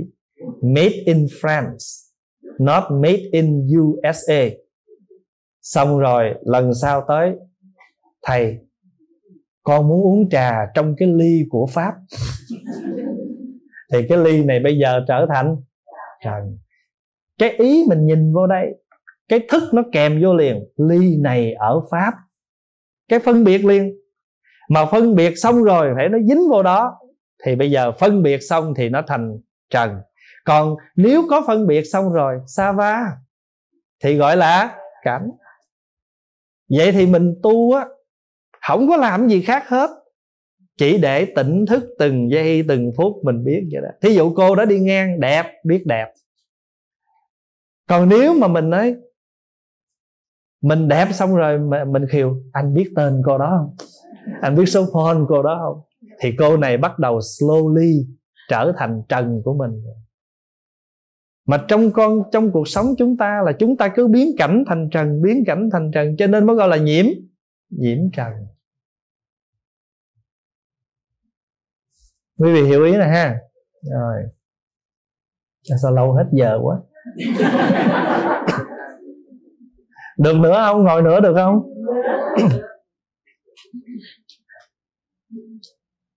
Xin thầy giải thích rõ hơn về cách cầu nguyện của đạo phật khác với cầu nguyện của phật. Thôi đừng đem đừng đem sớ lên rồi nói chơi thôi cứ đem đi, em trả lời thôi, chứ gì đâu đó. Với cả cách cầu nguyện của đạo Phật khác với cách cầu nguyện thần thánh mê tín. Ví dụ, kinh dược sư có đoạn, nếu thấy kẻ nam người nữ nào mắc bệnh khổ, họ phải nhất tâm vì người bệnh kia, mà thường xuyên tắm gọi súc miệng sạch sẽ, rồi trì chú 108 biến vào trong thức ăn hay thuốc thang hoặc nước không có vi trùng, sau đó lấy cho người bệnh dùng xong liền tiêu trừ. Con chưa hiểu rõ.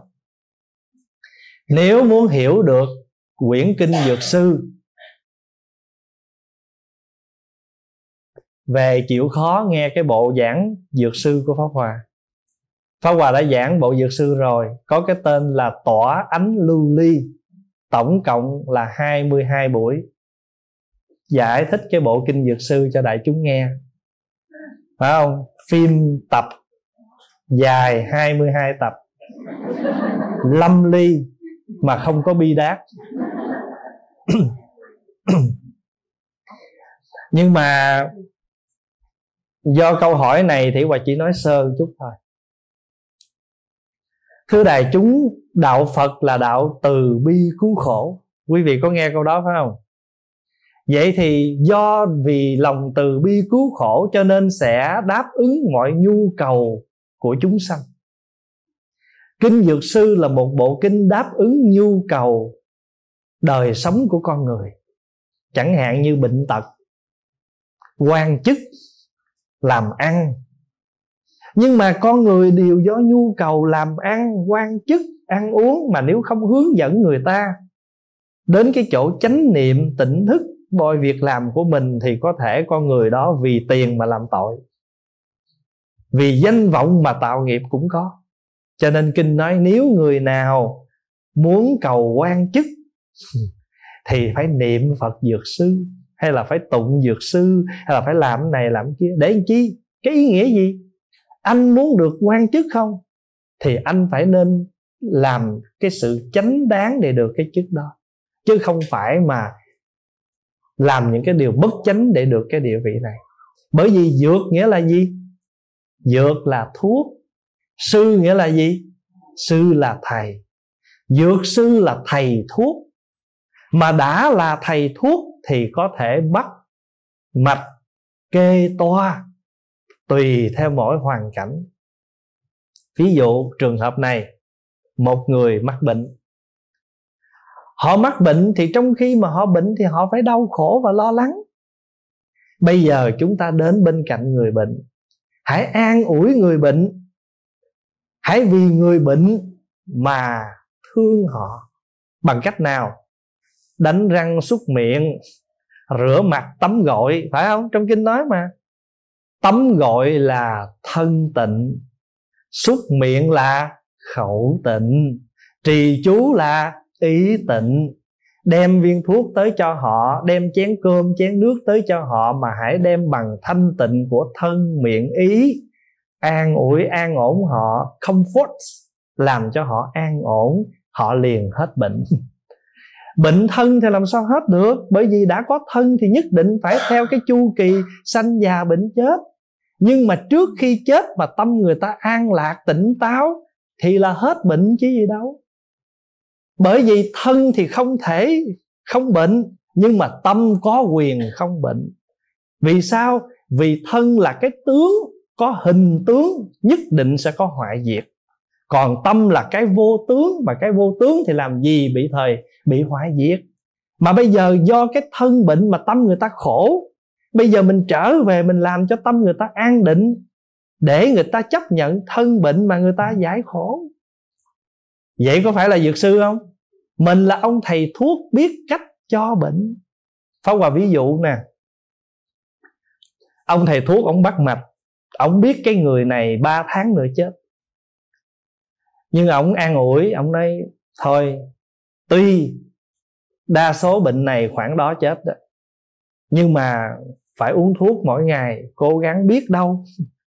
Anh uống thuốc này Và anh tin rằng anh sẽ hết bệnh. Tâm lý nó cũng một phần. Cho nên trong này mới có một câu nè. Phải chú nguyện trong nước không có vi trùng. Ta nói rõ ràng mà. Anh trì chú mà nước có vi trùng trong đó là thiếm cũng cứu không được chứ đừng nói chú. Mà giờ cả hai luôn, nước có vi trùng mà đưa người ta uống chú thiếm có mặt cũng chịu thua luôn. thưa đại chúng, và kể quý vị nghe một câu chuyện. Có Hòa hơi nhiều chuyện á. Có một hôm á, Đức Bồ Tát Phổ Hiền nói với thiện tài đồng tử, Hãy đi vô trong rừng. Đi vô trong rừng mà tìm những cái loại cỏ cây nào không phải là thuốc mang về đây cho ta. Ông đi từ sáng tới tối về, trong giỏ không có một cọng nào hết. Ngài Phổ Hiền mới nói, Ủa ta biểu ngươi đi tìm những cái cây nào không phải là thuốc mà. Nói dạ con thấy cây nào cũng không phải là thuốc hết. Ngày hôm khác, ngài nói vậy, ngươi đi vô trong rừng, lựa những cây nào là thuốc mang về đây cho ta. Đi từ sáng tới chiều về cũng không có một cây nào có. Có trong vỏ cả. Tại sao vậy? Nói dạ con thấy cây nào cũng là thuốc hết. Quý vị hiểu ý câu chuyện đó không? Nếu mà là thuốc, nếu mà là thuốc thì cái nào cũng là thuốc. Còn nếu không phải là thuốc, thật sự nó là thuốc mà không sử dụng đúng nó, thì thuốc cũng trở thành ra thuốc độc. Phong qua ví dụ, Tylenol có phải thuốc không? Nhưng mà nếu mà Tylenol uống đúng liều lượng thì Tylenol là thuốc nhưng mà nghĩ, vì nghĩ thay lên là thuốc mà uống một chai vô để khỏi bệnh một năm, thì cái đó cũng là hết bệnh. Phải không? Nhưng mà vĩnh viễn không bao giờ còn bệnh. Chết ngắt rồi. Cho nên đó là thuốc mà không biết sử dụng thì thuốc cũng trở thành ra độc. Còn nếu mà là độc mà biết sử dụng thì độc cũng là thuốc.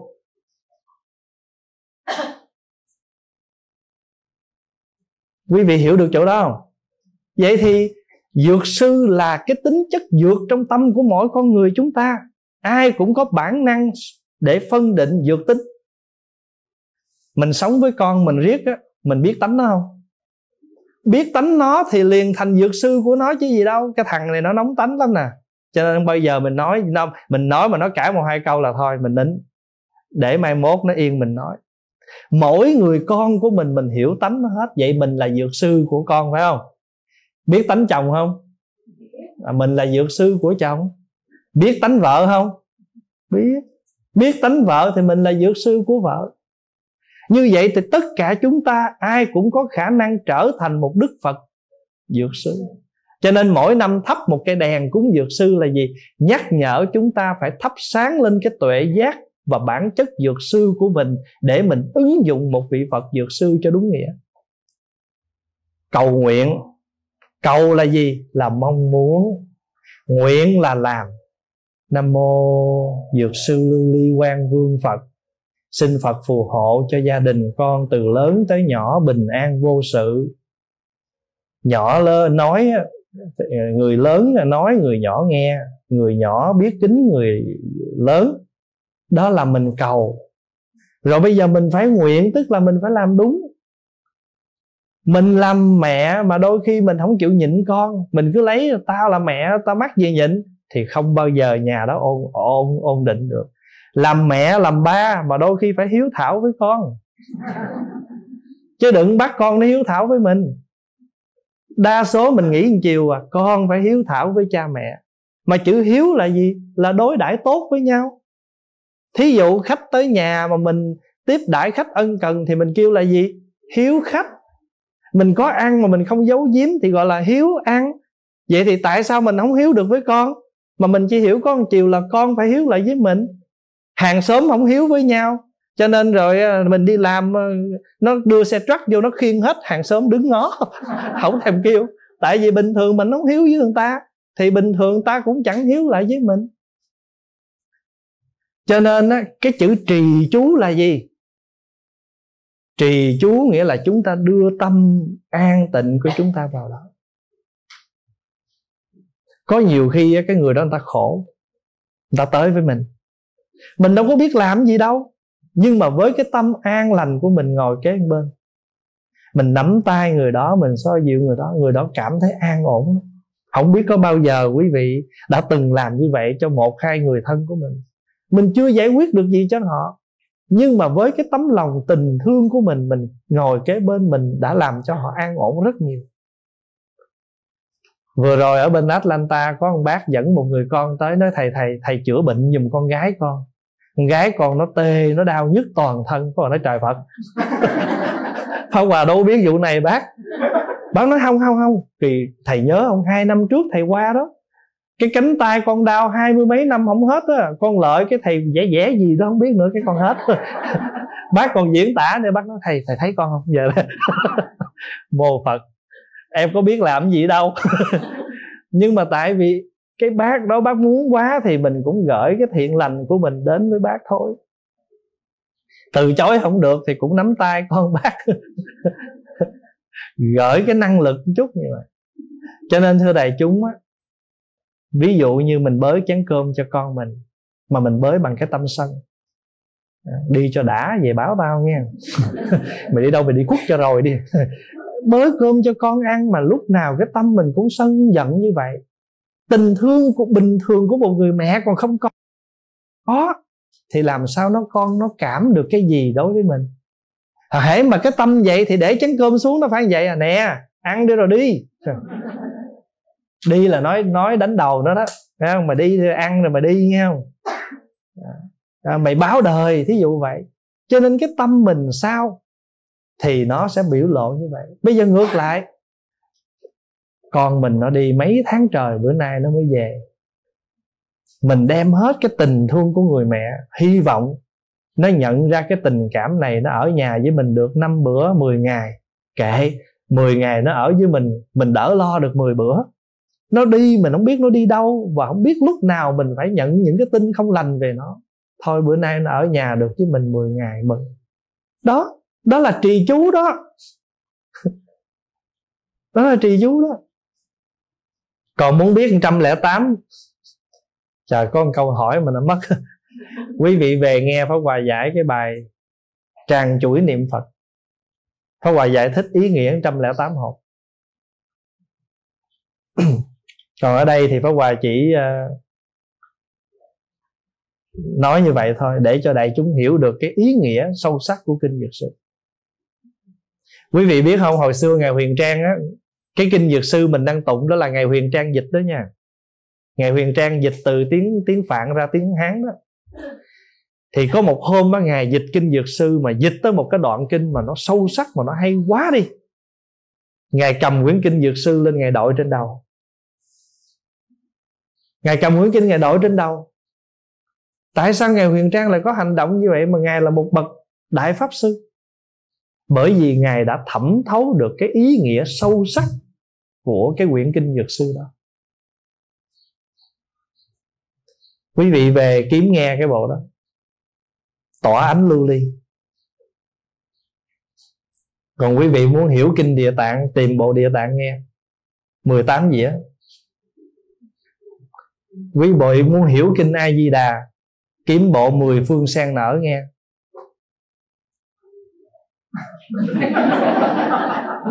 Em không dám nói.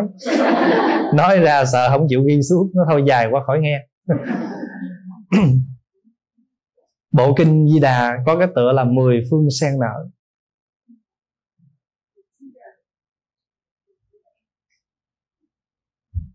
quý vị muốn hiểu được 500 danh hiệu quan âm mà quý vị thường lại đó, ngũ bách danh quan âm đó, quý vị về nghe cái bộ đó và có giải thích 500 danh hiệu quan âm. Bộ đó tên là diệu dụng quán âm. Cho nên không chịu tu thôi chứ nếu mà chịu tu thiếu gì để nghe. Không có thì giờ nữa. Thì giờ đâu, nghe chuyện khác.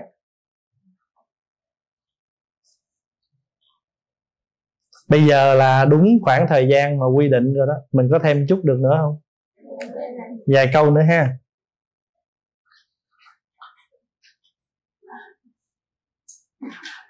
Chúng con vô cùng hoan hỷ được đón tiếp thầy trở lại nam cali. Kính xin thầy từ bi giúp con một việc.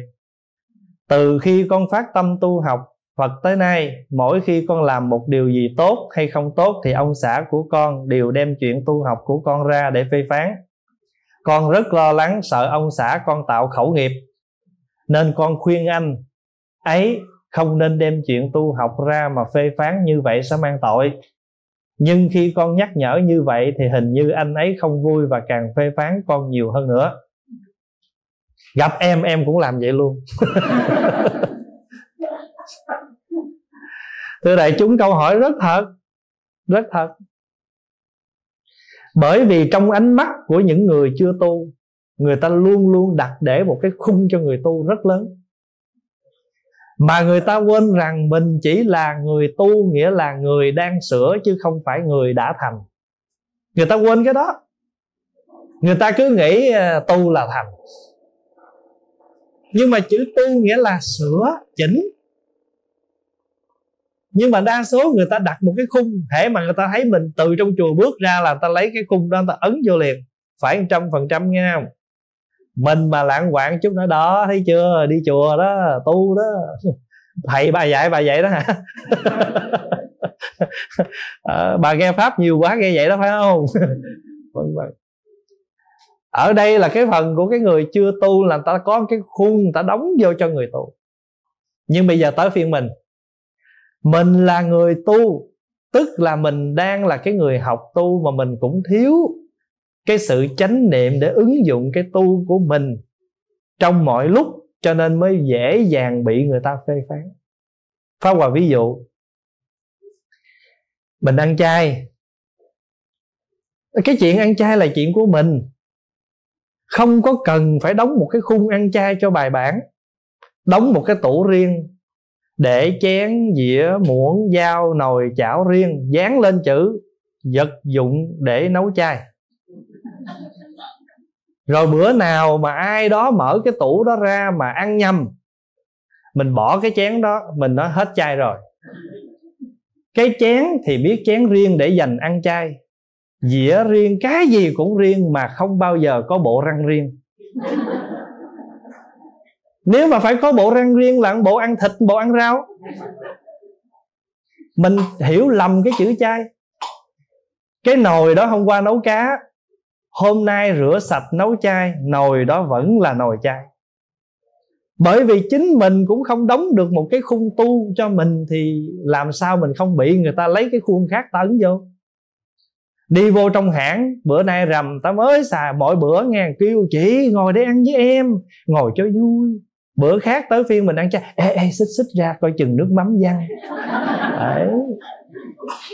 Bình thường ăn với người ta, biểu người ta lại ngồi chung. Bữa nay chỉ mang một cái nhãn hiệu ăn chay thôi, biểu người ta, please be aware from me ai em ăn chay? Đó. Tức là mình, tự mình không biết cách tu cho nên người ta mới có cái cơ hội để người ta chế nhiễu mình còn nếu mình đã khá khá rồi mà thỉnh thoảng chánh niệm đi chơi, cũng còn sân si cái gì đó mà bị ta nói, mình nói vậy nè. Ông có thấy là hồi trước tôi chưa tu tu hoành hạnh trăm phần trăm không? Bây giờ tôi tu, ông thấy tôi được phân nửa không? Tôi được phân nửa là ông cũng đỡ lắm rồi, ông muốn gì nữa?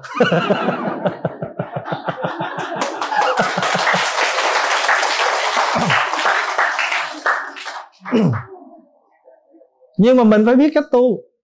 Ví dụ mình tụng kinh phải không? Mỗi tối tụng kinh. Bữa nào bạn ổng tới chơi lố cái giờ mình tụng kinh. Đi kiếm chỗ vô phòng ngồi niệm phật trì kinh gì đó. Mặc áo chàng vô ben ben ben nguyện đem lòng thành kính hai ổng ngồi vô vô. Trời đất ơi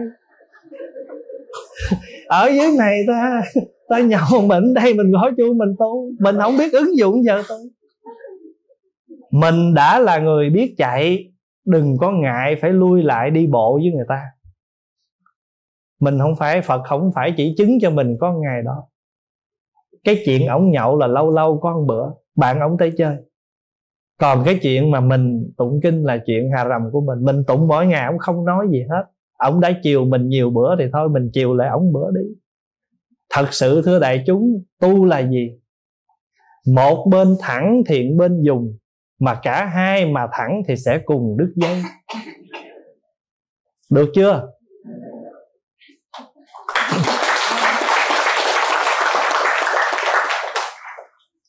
Mình là người tu á, là mình sẽ chịu hy sinh thậm chí chịu lép phần mình mà được cho phần người.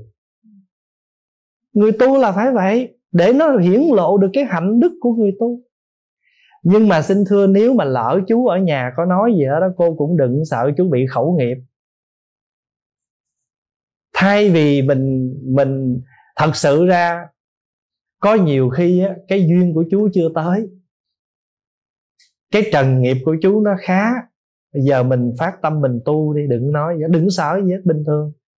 Rồi cố gắng hết mức của mình mà mỗi lần ông nói gì thì mình âm thầm mình nguyện cho ông à, tiêu trừ được cái nghiệp mà chưa có nhìn ra cái thiện lành. Tại sao có những khi người ta bố thí mà mình cũng nói? Thưa đại chúng nếu người ta muốn nói rồi không đợi tới phiên mình là cư sĩ tại gia đâu. Thầy tu họ cũng nói như thường. Nếu họ muốn nói thầy tu họ vẫn nói. Và nếu người ta đã muốn nói rồi, chùa mà lớn cất khang trang người ta cũng nói. Chùa mà lụp sụp người ta cũng nói. Người ta muốn nói rồi thì ta cái gì ta cũng nói được. Thôi thì mình người tu tu là gì? Là chỉnh, là sửa.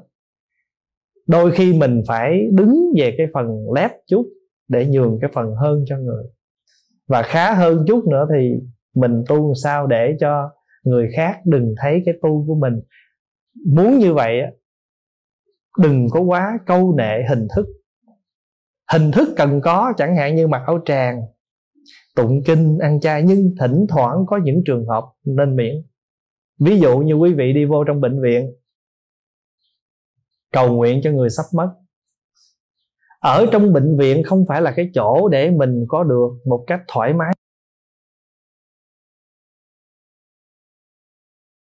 Như vậy. Cái quan trọng mình vào trong đó với tâm thành của mình, niệm phật, an định cho tâm người mất. Không cần hình phật, không cần lưu hương bình bông, không cần chuông mỏ mình tụng sao mà y tá, bác sĩ, người bệnh gì, họ nói ông đó chưa chết mà tôi sắp chết.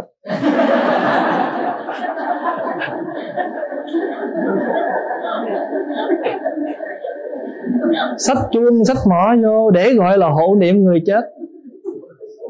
Cái người chết người ta khi người ta sắp mất tâm người ta loạn lắm.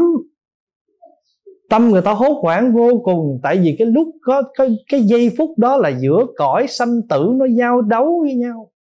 Người ta cần sự an tịnh cho nên mình tới đó mình phải an tịnh cái tâm thành của mình bằng câu niệm phật tụng kinh cho thanh thản. Trời ơi đem nguyên bộ chuông mỏ vô a di ri đô bà tỳ, a di ri đa tức tam bà tỳ. Rồi y tá bác sĩ nó vô, nó nói cho tôi vô tôi khám được không? Đừng đúng đừng đúng đúng người này sân. Trời đất ơi. Người chết chưa sân ở đâu mà thấy bác sĩ sân rồi đó.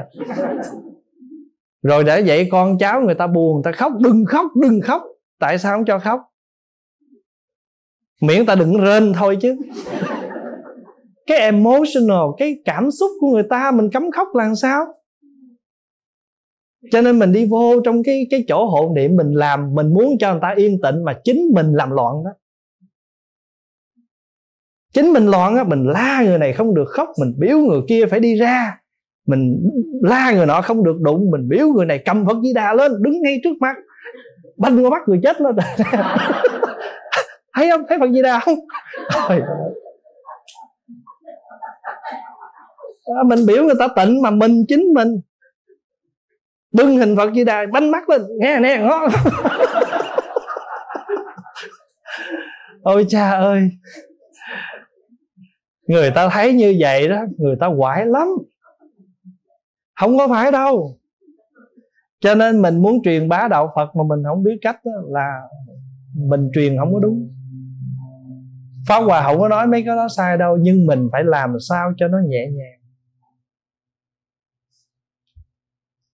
Cái người bất á, Mặc dù người ta nằm đó đó, Người ta không biết gì hết trơn á, Nhưng mà tâm thức người ta rành rõ lắm.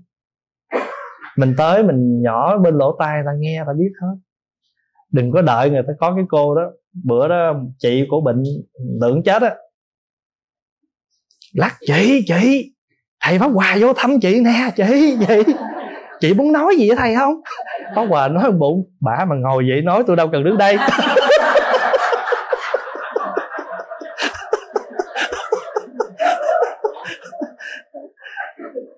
ý ý cô muốn nói là giống như chị cũng muốn nhắn gửi gì, thầy chị muốn làm sao mà người ta nằm đó, người ta bác sĩ nói là chỉ có thể là sắp mất trong một vài phút nữa đó. Tới hồi mà xong chuyện mà mới chọc cổ và nói, trời ơi, bữa vô mà cô nói và nói bụng quá nha. Pháp hòa nói, chị của chị chị của cô mà ngồi vậy được là tôi với bà đâu cần ngồi đây. Đứng tới 3 giờ sáng rồi vô đó 3 giờ sáng mà đứng niệm phật rồi an ủi cho người nhà, nói chuyện với người mất, cho tới 6 7 giờ sáng mới về. Phải không? Mà mình cứ người ta sắp mất, cứ lắc người ta mà biểu đừng lắc đừng lắc, đừng đụng, rồi banh mắt người ta lên, rồi làm lung tung lên hết. Cái cách mà hộ niệm cho người mất hay nhất là tới an tịnh, niệm phật trong nhỏ nhẹ, chánh niệm, không cần chuông mỏ chi hết. Đừng làm phiền người khác là ngay giây phút đó, cảnh đó là cảnh tịnh độ. Mình niệm phật làm sao cho người mất được an tịnh? Cho nên nhiều khi chính mình không kéo mình cũng làm cho người ta. Nhìn đạo phật mình với một cái cái nhìn không có không có hay. Chính mình không có ứng dụng đúng. Con nghe nói đạo phật hồi xưa của tiểu thừa là không có cúng lại cầu an, cầu siêu, độ vong gì hết. Có thật vậy không? Xin thưa là ai đông nô? Ở đây à, mình cần phải xác định cái chữ tiểu thừa. Không có gọi tiểu thừa, mà chúng ta xác định là nguyên thủy. Cái thời của phật không có vấn đề cúng cơm. Nhưng mà cầu an, cầu siêu thì có thể có. Thí dụ như người thân mất, đến nhờ phật gửi lòng từ bi, hộ niệm cho người thân, để người đó được sự đi trong thanh thản nhẹ nhàng. Có. Còn cái chuyện mà cúng cơm độ vong là bởi vì như hồi nãy pháp hòa thưa đó, thay vì mình bỏ mặt, không nói gì hết bây giờ mình mỗi người chúng ta gửi cái năng lượng. Có nhiều khi á, quý vị dẫn con lên, khi mà nó quá ể là nó hư rồi. Nhờ thầy nói cho nó, để mà thầy khuyên nó. Quý vị tin rằng pháp hòa khuyên được không? Không khuyên được. Làm sao? Giữa thầy với nó chưa hề quen biết gì hết.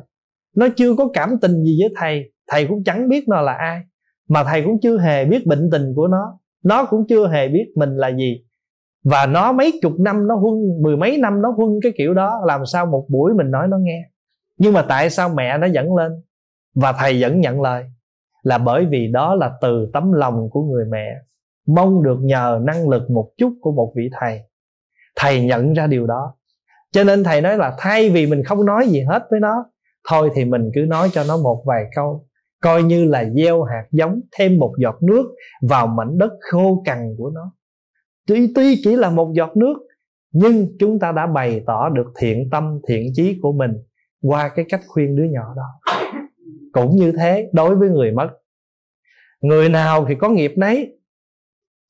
Nhưng đối với người mất, họ tuy họ như vậy, nhưng chúng ta gửi thêm một năng lượng bình an khuyên nhắc họ, thì biết đâu họ sẽ thấy con đường để họ đi. Pháp Hòa ví dụ một cái người à, một cái người, một cái người mù, họ đang đi. Họ, mình đi phía sau, mình thấy họ sắp sửa bước chân xuống cái vũng lầy.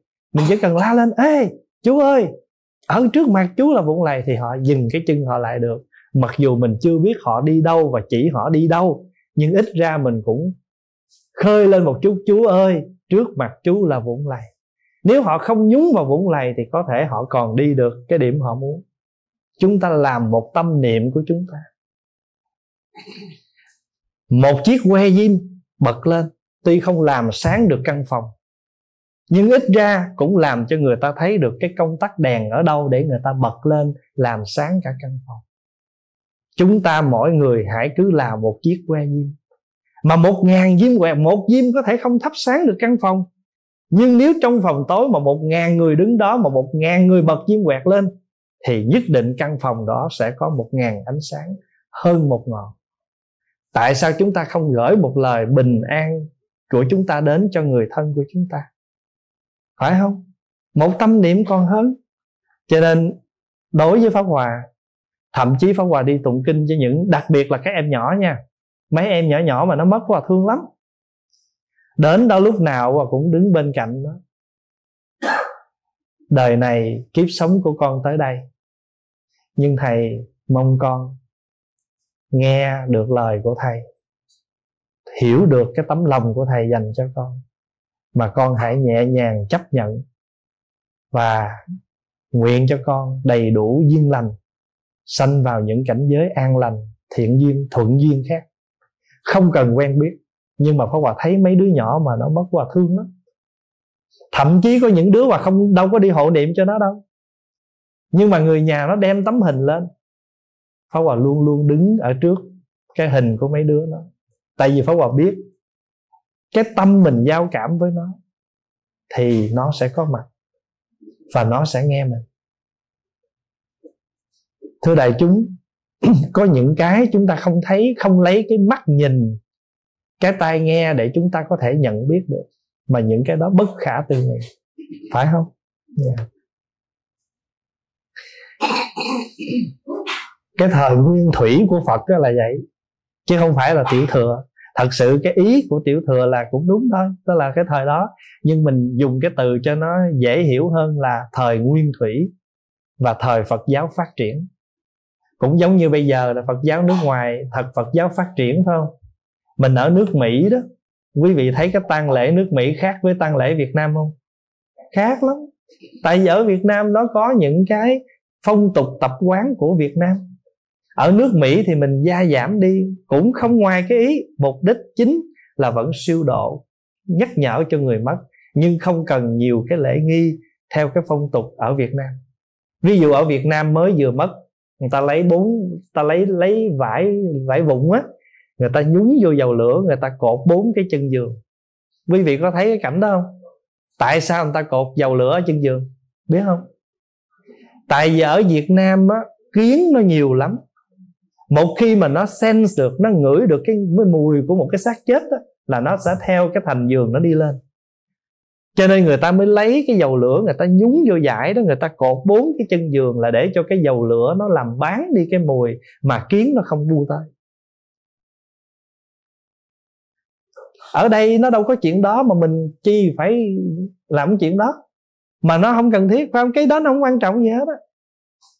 Ở việt nam á chết ở trong nhà cho nên người ta mới làm một cái chén cơm để ý nghĩa là cầu cho cái người mất đó đi trong cái no đủ.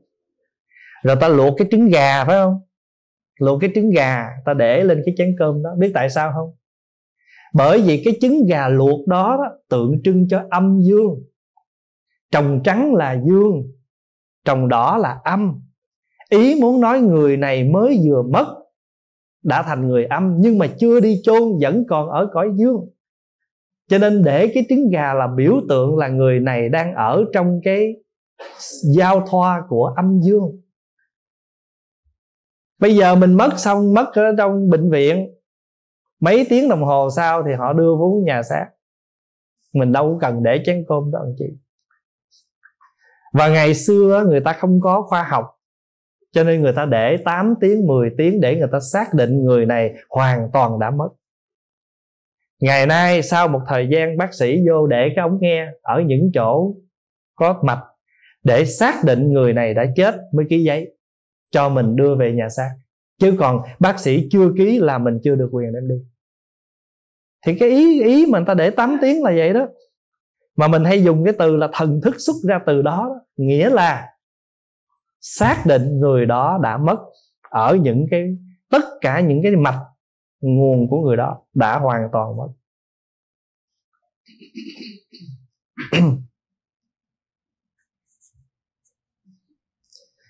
À, kính thầy giảng nghĩa câu Nam Mô A Di Đà Phật. Chúng con hay chào nhau câu A Di Đà Phật. Có một vị Phật tử bắt lỗi bảo rằng Thiếu chữ Nam Mô A Di Đà Phật, Bất kính với Phật. Cái này thì cũng Nam Mô A Di Đà Phật luôn á.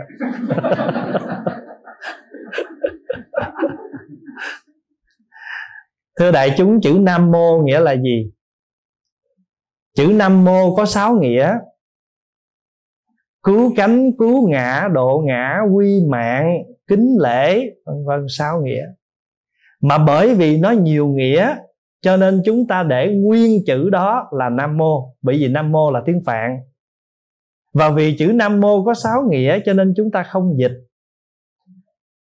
Và nếu có dịch á, thì thí dụ dịch được nghĩa này thì nó lại không đủ nghĩa kia. Chẳng hạn như mình dịch là kính lại đức bồ tát quán âm hay là kính lại phật a di đà thì cũng nghĩa là nam mô đó nhưng bởi vì chữ nam mô sáu nghĩa cho nên giờ mình gọn lại, không cần nói sáu nghĩa, nói chữ nam mô. Và đồng thời chữ nam mô bây giờ đã trở thành một cái chữ, nó đã ăn sâu vào trong tất cả mọi cái sinh hoạt của đệ tử phật rồi. Nghe chữ nam mô thì mọi người đều phát tâm hết. A di đà phật có ba nghĩa, vô lượng quan vô lượng thọ, vô lượng công đức thay vì mình gặp nhau, mình nói, tôi xin chúc anh vô lượng quan vô lượng thọ, vô lượng công đức. Người ta nói mình cải lương. Dài dòng. Bây giờ mình gom gọn lại, a di đà phật. Nghĩa là tôi xin chúc cho anh. Lúc nào anh cũng có đầy đủ ánh sáng, đầy đủ trí tuệ và đầy đủ công đức. Cho nên mình gặp nhau mình mới a di đà phật. Còn cái chữ nam mô không cần. Nếu muốn cũng được mà giảm đi cũng chẳng sao. Nhưng mà khi nào mình niệm danh hiệu của ngài, thí dụ mình niệm nam mô a di đà phật để biểu lộ đầy đủ cái câu đó là con xin kính lại đức phật a di đà. Ở trường học phật tử chào nhau thì lấy ý nghĩa của chữ a di đà ra để cầu chúc. Cầu chúc cho anh, vô lượng quan vô lượng thọ, vô lượng công đức ở trường hợp này, lấy danh, lấy ý nghĩa của đức a di đà để cầu chúc cho nhau chứ không phải là kính lại phật, cho nên chữ nam mô có thể giảm. Còn trường hợp nếu mình đến bàn thờ phật, mình lễ phật, thì mình đọc nguyên câu nam mô a di đà phật để nói lên sự cung kính của mình. Có quà ví dụ, Mình gặp một cái bác đó, Mình, bác đó tên là Trần Văn Nam. Nhưng mình gặp bác Mình nói, Ô dạ con xin kính chào bác Trần Văn Nam hay là mình chỉ nói dạ con chào bác nam. Nhưng mà khi mình lên một cái buổi lễ mình giới thiệu thì mình phải giới thiệu đàng hoàng. Con xin trân trọng giới thiệu đây là bác trần văn nam. Đúng không?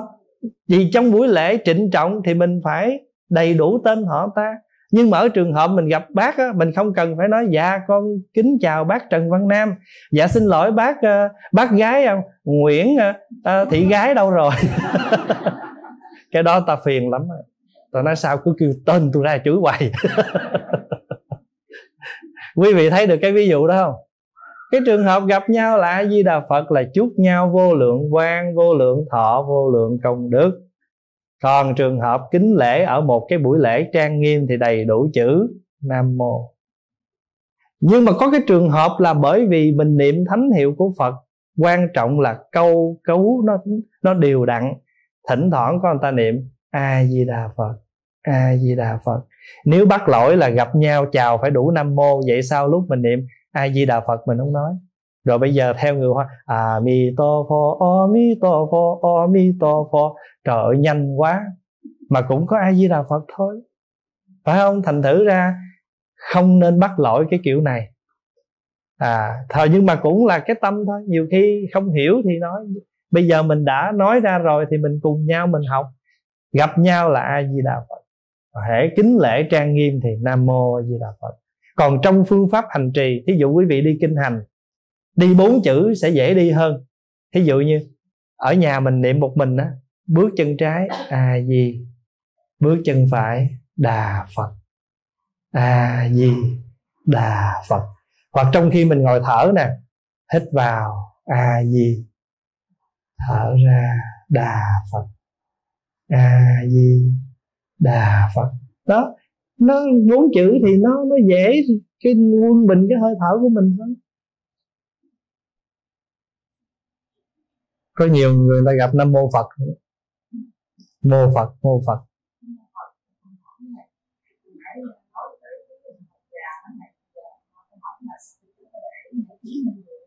giờ, giờ thêm nãy chưa thưa đại chúng ở Việt Nam cái cô có một câu hỏi là nãy thầy có giáo dụ và cái trứng gà rồi giờ có người chết tại Việt Nam để cái nãy chú biết không? Ở bên Việt Nam á người ta quan niệm người ta sợ khi mà cái người mất á để Việt Nam thì ở trong trong trong gì? Trong vườn, trong rẫy, trong ruộng. Thì đôi khi nó có một con mèo. Mà cái con mèo này nó có cái tên là linh miêu. Nó là con do rắn và mèo kết hợp mới sanh ra nó. Chứ không phải con nào cũng linh miêu đâu. Nó một loại mèo đặc biệt là do rắn và mèo kết hợp nó mới sanh ra cái con mèo đó.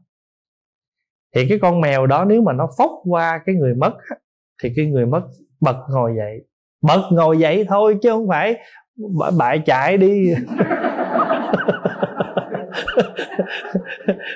Không hiểu kiểu như vậy rồi mình sợ, phải không? Bật ngồi dậy cho nên ta để cái nải chuối người ta dằn. Cái ý thứ hai á, là cái nải chuối đó thường là nải chuối sống.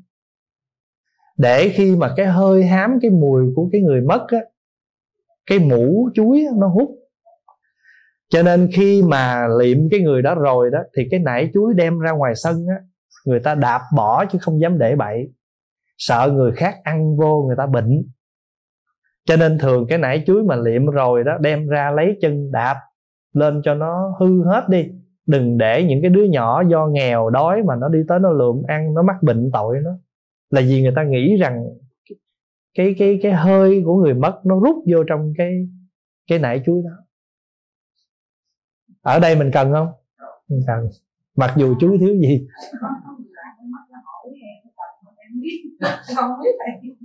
Ừ. Thôi mình ráng chút nữa được không?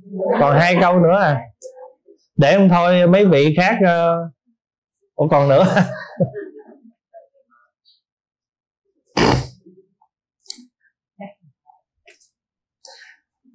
Cảm ơn thầy cho con bài giảng hôm nay. Kính chúc thầy luôn mạnh khỏe. Con về việt nam thăm quê và một lần đi thăm chùa.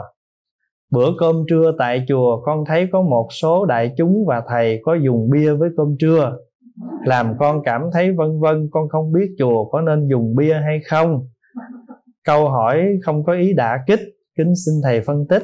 Và cảm ơn. Phật tử dạ thưa thì dĩ nhiên là đúng nguyên tắc là nhà chùa không có uống bia uống rượu gì hết. Còn cái trường hợp mà có bia có rượu này thì thiệt sự là chắc có lẽ là, là do một cái trường hợp đặc biệt nào đó mà nó ngoài cái tầm cái phạm vi của Phật pháp. Thì thưa đại chúng có những thầy là thầy chùa chứ không phải thầy tu tiếc là ở chùa vậy thôi chứ không tu. Còn thầy mà ở trong chùa mà có tu kêu thầy tu. Mà thầy tu thì không có vụ này. Còn thầy chùa thì nó lắm. Thì thôi thì mình cứ nhận ra như là một cái hình ảnh không dễ thương, không đúng, lỡ mình thấy. Thì nếu như mà lỡ thấy hình ảnh này thì mình xác định đây không phải là hình ảnh của người phật tử hay là của đệ tử phật. Đừng phê, đừng có chỉ trích và đừng có nói gì hết. Nếu ai hỏi thì mình chỉ xác định dạ cái đó không phải. Vậy thôi. Trong tất cả chúng ta, ai cũng có những cái sai của mình. Thông qua ví dụ ví dụ như cái tiệm đó người ta mở, ta làm ăn theo cái nghĩa là thí dụ giờ ta nói ta làm ăn à, bán nước ngọt. Ví dụ đi. Nhưng mà cái đó chỉ là cái hình tướng bên ngoài thôi có thể bên trong ta làm những cái điều buôn bán không có đúng. Mình cũng đâu biết. Thì thôi mình nhận cái gì mình biết cái đó thôi, chứ còn không ai có đạo nhãn để mà xác định gì. Nhưng mà trước mắt, quý vị thấy bây giờ Việt Nam cũng giả nhiều lắm. Phải không? Có nhiều khi người ta giả là một cái người xuất gia để người ta có được cái cái nhu cầu đời sống của người ta. Rồi ban đêm, ban ngày người ta đi khất thực rồi ban đêm về người ta làm những cái điều ăn nhậu không đúng thì hình ảnh của người tu bị bị rất là nhiều. Thì mình cũng nhận ra đây như là một hình ảnh không đúng của Phật giáo vậy thôi. Chứ không phải là các thầy là như vậy. Nếu thầy đó thật tâm tu là thầy dứt phát thầy không làm điều đó. Còn thầy đó không phải có tâm tu thì thầy dù có ở chùa thầy cũng làm điều trật như thường. Bởi vì xuất gia nó có bốn loại. Thân xuất gia mà tâm không xuất gia có những người thân xuất gia mà tâm họ không xuất gia. Mà tâm không xuất gia thì họ có thể có hình tướng đầu tròn, mặc áo tu ở trong chùa nhưng mà hoàn toàn tâm tư. Họ không thương tiếc gì hình ảnh của phật tử hết. Đó là thân xuất gia mà tâm không xuất gia. Hạng thứ hai là có những người tâm xuất gia mà thân không xuất gia. Chẳng hạn như quý phật tử. Có thể có những người hoàn cảnh chưa cho phép mình đi xuất gia, nhưng mà tâm tư của quý vị đã hướng về nẻo đạo một cách thuần túy. Đó là thân tại gia, nhưng mà tâm xuất gia. Có những người, tâm người ta tu, thân tướng người ta tu luôn, cái đó gọi là thân tâm đều xuất gia. Chẳng hạn như tất cả những vị tăng đi có thật tu và đang hành đạo, đang tu tập. Và có những người thân không xuất gia, mà tâm cũng không xuất gia luôn. Tức là sống rất là buông thả thì trong cuộc, trong giới xuất gia nó cũng có bốn dạng như vậy, phải không? Dạ. Yeah. thành thử ra có những người người ta từ sáng đi ra tối. Tức là từ trong cảnh an vui mà đi vào cái chỗ đau khổ. Và có những người người ta từ tối người ta ra sáng. Ta lầm đường lạc bước, bây giờ người ta biết hướng về nẻo thiện.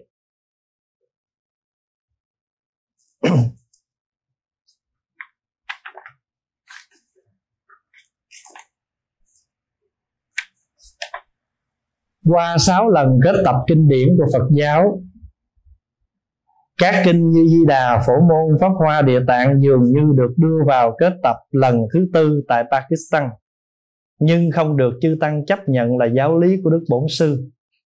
Ngày nay các nước như Việt Nam, Đài Loan, Nhật Bản, Trung Hoa, Đại Hàn đa số tu theo pháp môn tịnh độ mà đấng giáo chủ là Đức Phật A Di Đà vì luôn quán tưởng và trì niệm danh hiệu Đức Phật A Di Đà và có vẻ giống như các tín ngưỡng theo nhất thần giáo. Trong thời kỳ này vẫn còn là thời kỳ độ sanh của giáo lý Đức Phật Thích Ca, chẳng lẽ chư Phật dẫm chân lên trong vấn đề độ sanh ư? Quý vị hiểu câu hỏi không? Tức là nếu như mà mình đề xướng cái pháp môn tịnh độ có một vị giáo chủ và chỉ biết Phật Di Đà thôi thì giống như là nhất thần giáo quá vì có một cái đạo giáo gọi là nhất thần, gọi là một ông thần. Dạ thưa không? Nếu như ai tu tịnh độ, học giáo lý tịnh độ mà chấp trước theo cái đường lối nhất, độc tôn duy nhất thì người này mới lọt vào tà kiến của tịnh độ. Chứ còn đúng cái tinh thần của tịnh độ là không có phải nhất thần như vậy. Mà đồng thời chư Phật cũng không dẫm chân mà bởi vì Đức Phật Thích Ca muốn cho chúng sanh phát tâm tu theo tùy mọi cái hoàn cảnh, tùy mọi cái cái phương tiện, khả năng của mình mà tu tập. Bây giờ nói về lịch sử. Khi mà vợ của vua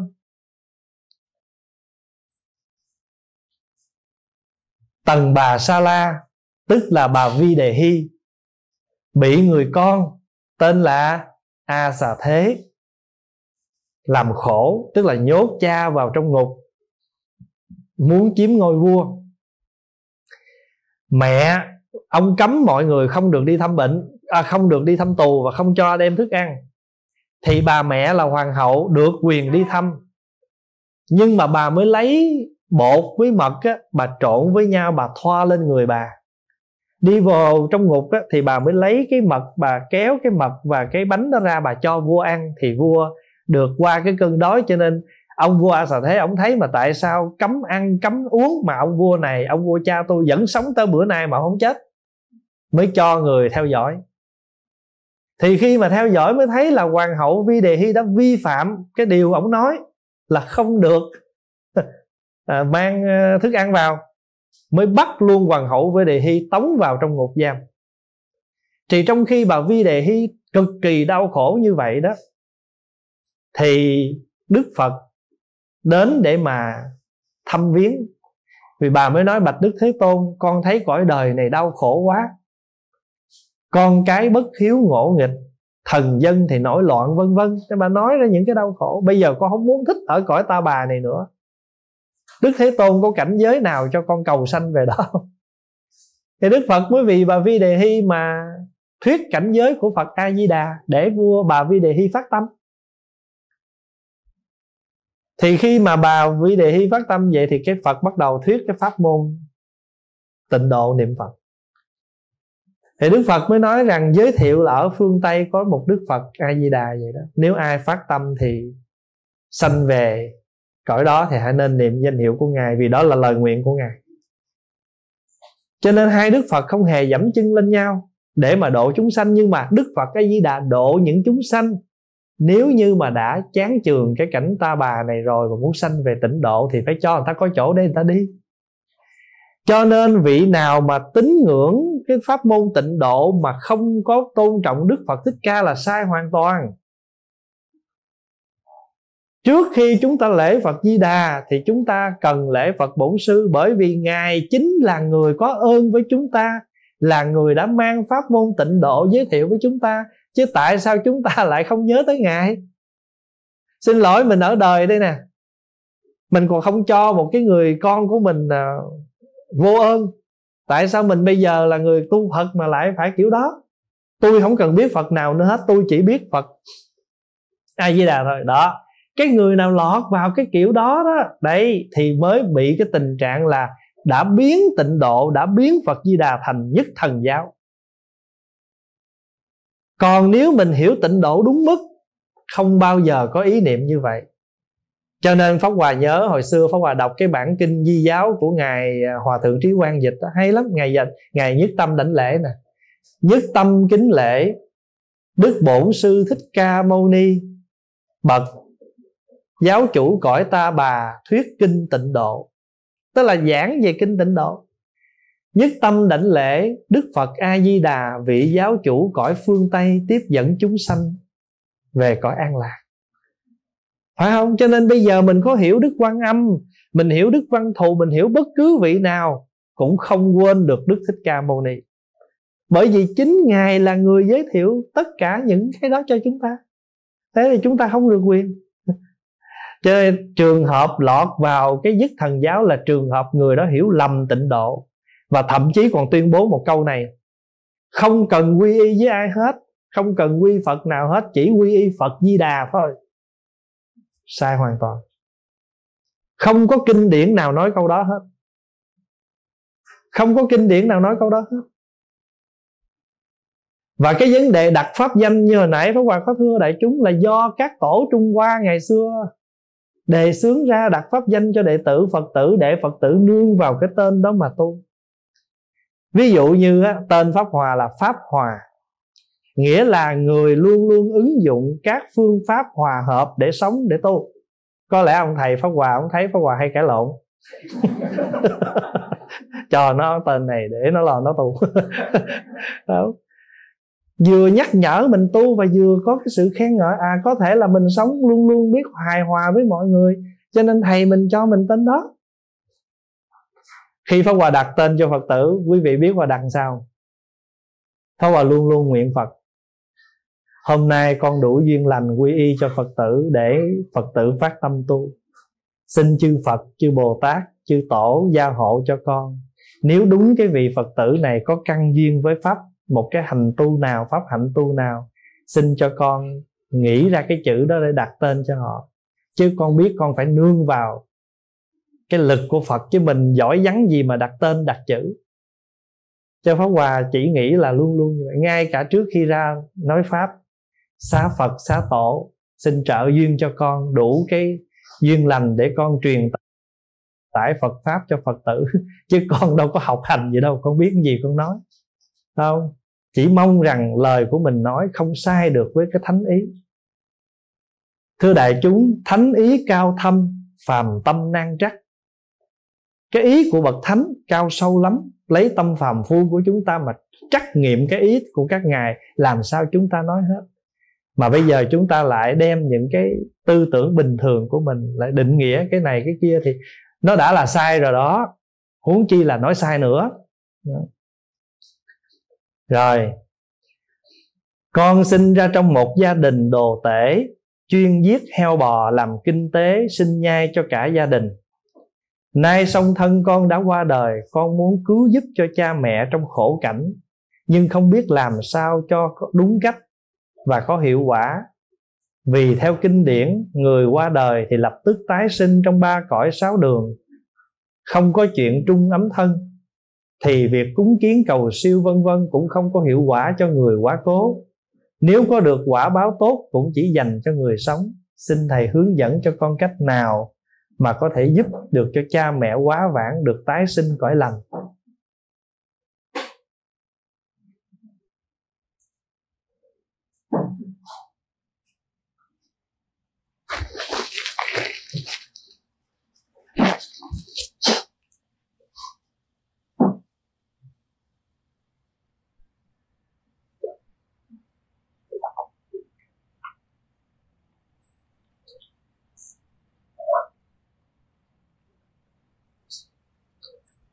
Mình sanh trong một cái gia đình làm nghề đồ tể đó, có nghĩa là mình có cái duyên nghiệp với gia đình đó có cha mẹ đó. Nhưng mà trong số những người trong gia đình làm nghề này mình là người trội hơn. Cho nên ngay giây phút này chúng ta tỉnh giác thấy được phật pháp thấy ánh sáng để chúng ta quay về mà độ cho gia đình. Chúng ta thấy được cái điểm độ đầu tiên là chúng ta thấy được Phật pháp để quay trở về độ gia đình. Trên nguyên tắc, những người thân mình nếu họ làm lỗi cực kỳ, có thể họ đã đọa lạc. Nhưng dần sao mình cứu đây? Mình có cái liên đới với họ, cho nên vị phật tử này thành tâm tu tập, hồi hướng công đức, tất cả những phước lành nào mình làm được như là bố thí, thọ bát quan trai, thọ giới để tu tập, đều hồi hướng cho người thân mình. Nếu người thân mình hiện đang còn trong những cái cảnh giới khổ đau nào mà họ tái sinh, nhờ công đức lành này mà sự khổ đau của họ nó đang giảm. Thông qua ví dụ ha. Ví dụ như bây giờ là cái người thân đó mất hồi năm 1980 Bây giờ người đó có thể đang tái sinh vào một cái cõi nào ở nước Mỹ đây, nhưng mà khổ lắm, làm homeless. Thí dụ vậy đi. Nhưng mà cái người thân họ đó còn sống sót từ năm 80 tới giờ vẫn cầu nguyện hồi hướng công đức cho họ. Mặc dù họ đã tái sinh, làm homeless rồi. Nhưng mà cái liên đới giữa duyên của họ với người thân họ vẫn còn đó. Nghĩ tưởng tới họ hồi hướng thì cái kiếp homeless của họ đó sẽ được an lạc hơn. Homeless nhưng mà lúc nào cũng có chứ không có less. Thay vì là không có gì hết, thì nhờ cái thiện lành đó đi xin mà có chứ không phải hoàn toàn không có. Rồi nếu như á, mình hồi hướng cho họ xong rồi mình cũng nguyện ở bất cứ kiếp nào, họ cũng xin cho họ cũng được, thấy được ánh sáng Phật pháp. Bởi để hai cái tâm nó tương đồng cho nên không phải không được đâu. Nhưng mà chúng ta cần phải làm xuyên và làm nhiều. Chữ làm nhiều ở đây có nghĩa là bất kỳ công đức thiện lành nào chúng ta làm được, chúng ta hồi hướng. Ví dụ bây giờ ông bà mình đã có những người mất 50 năm rồi, mà mình còn hồi hướng không? Còn Thành nữa nếu mà ông bà mình tái sinh có thể trở thành một thanh niên thiếu nữ nào trong kiếp này rồi, Nhưng mà nhờ công đức con cháu của quá khứ đó hồi hướng hoài Thì trong kiếp làm người này họ vẫn khỏe, vẫn an vui.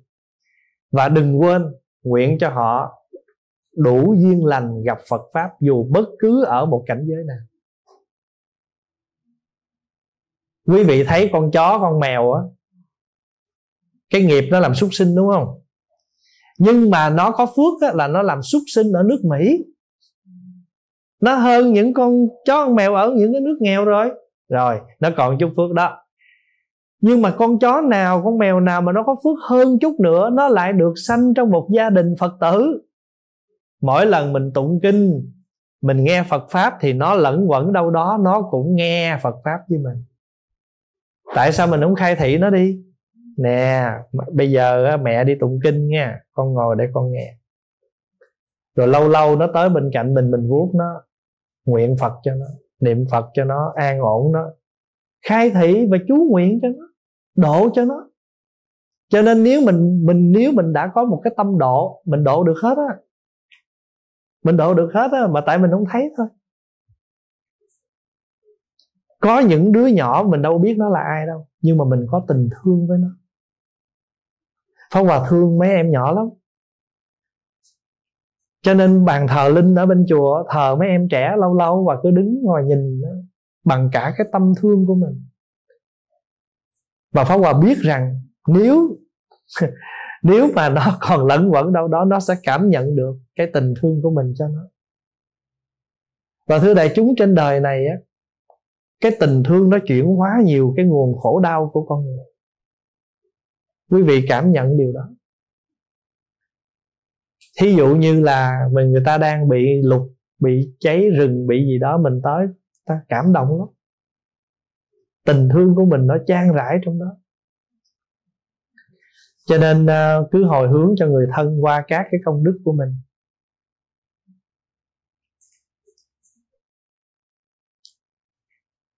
Con nhờ thầy quan hỷ có cách nào giúp cho đứa bé gái 3 tuổi của bạn con đã đến tuổi này rồi mà chưa biết nói?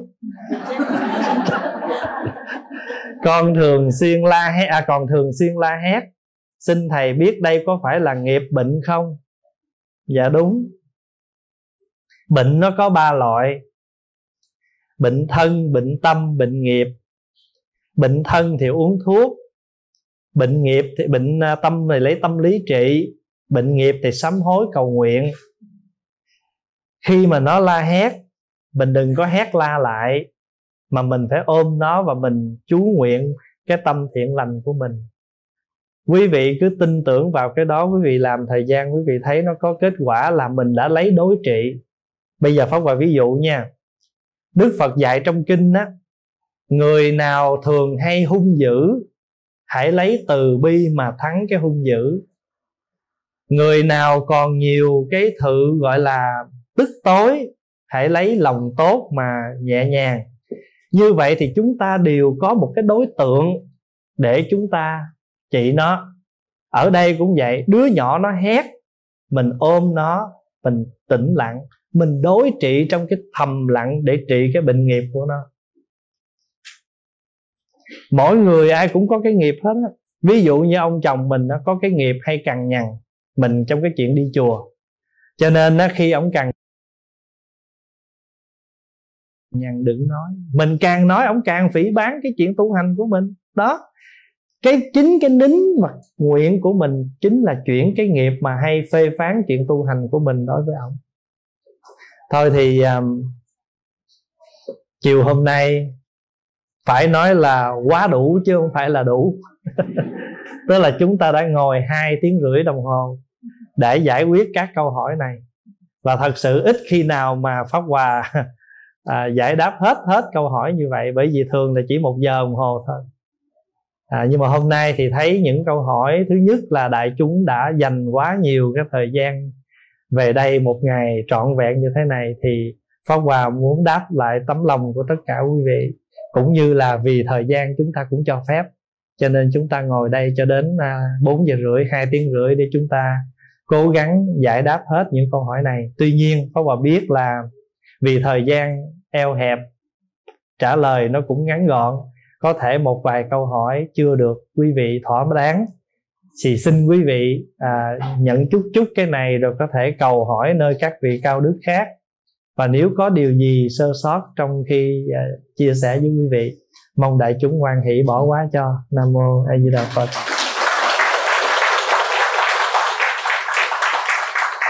Và một lần nữa con xin biết ơn thầy trụ trì rất nhiều đã tạo mọi duyên lành cho chúng con có được ngày hôm nay. Và cũng xin cảm ơn quý anh chị phật tử à, trong nhóm hương từ đã dành hết thời gian để chu đáo sắp xếp cho toàn thể đại chúng ngày hôm nay và lời cuối là cảm ơn quý vị đã không quản ngại đường xa và thời gian quý báu của mình mà trở về đây để chúng ta cùng an lạc với nhau trong một ngày. Quý vị có an lạc không? À, nhớ an lạc mà đừng đi lạc ha.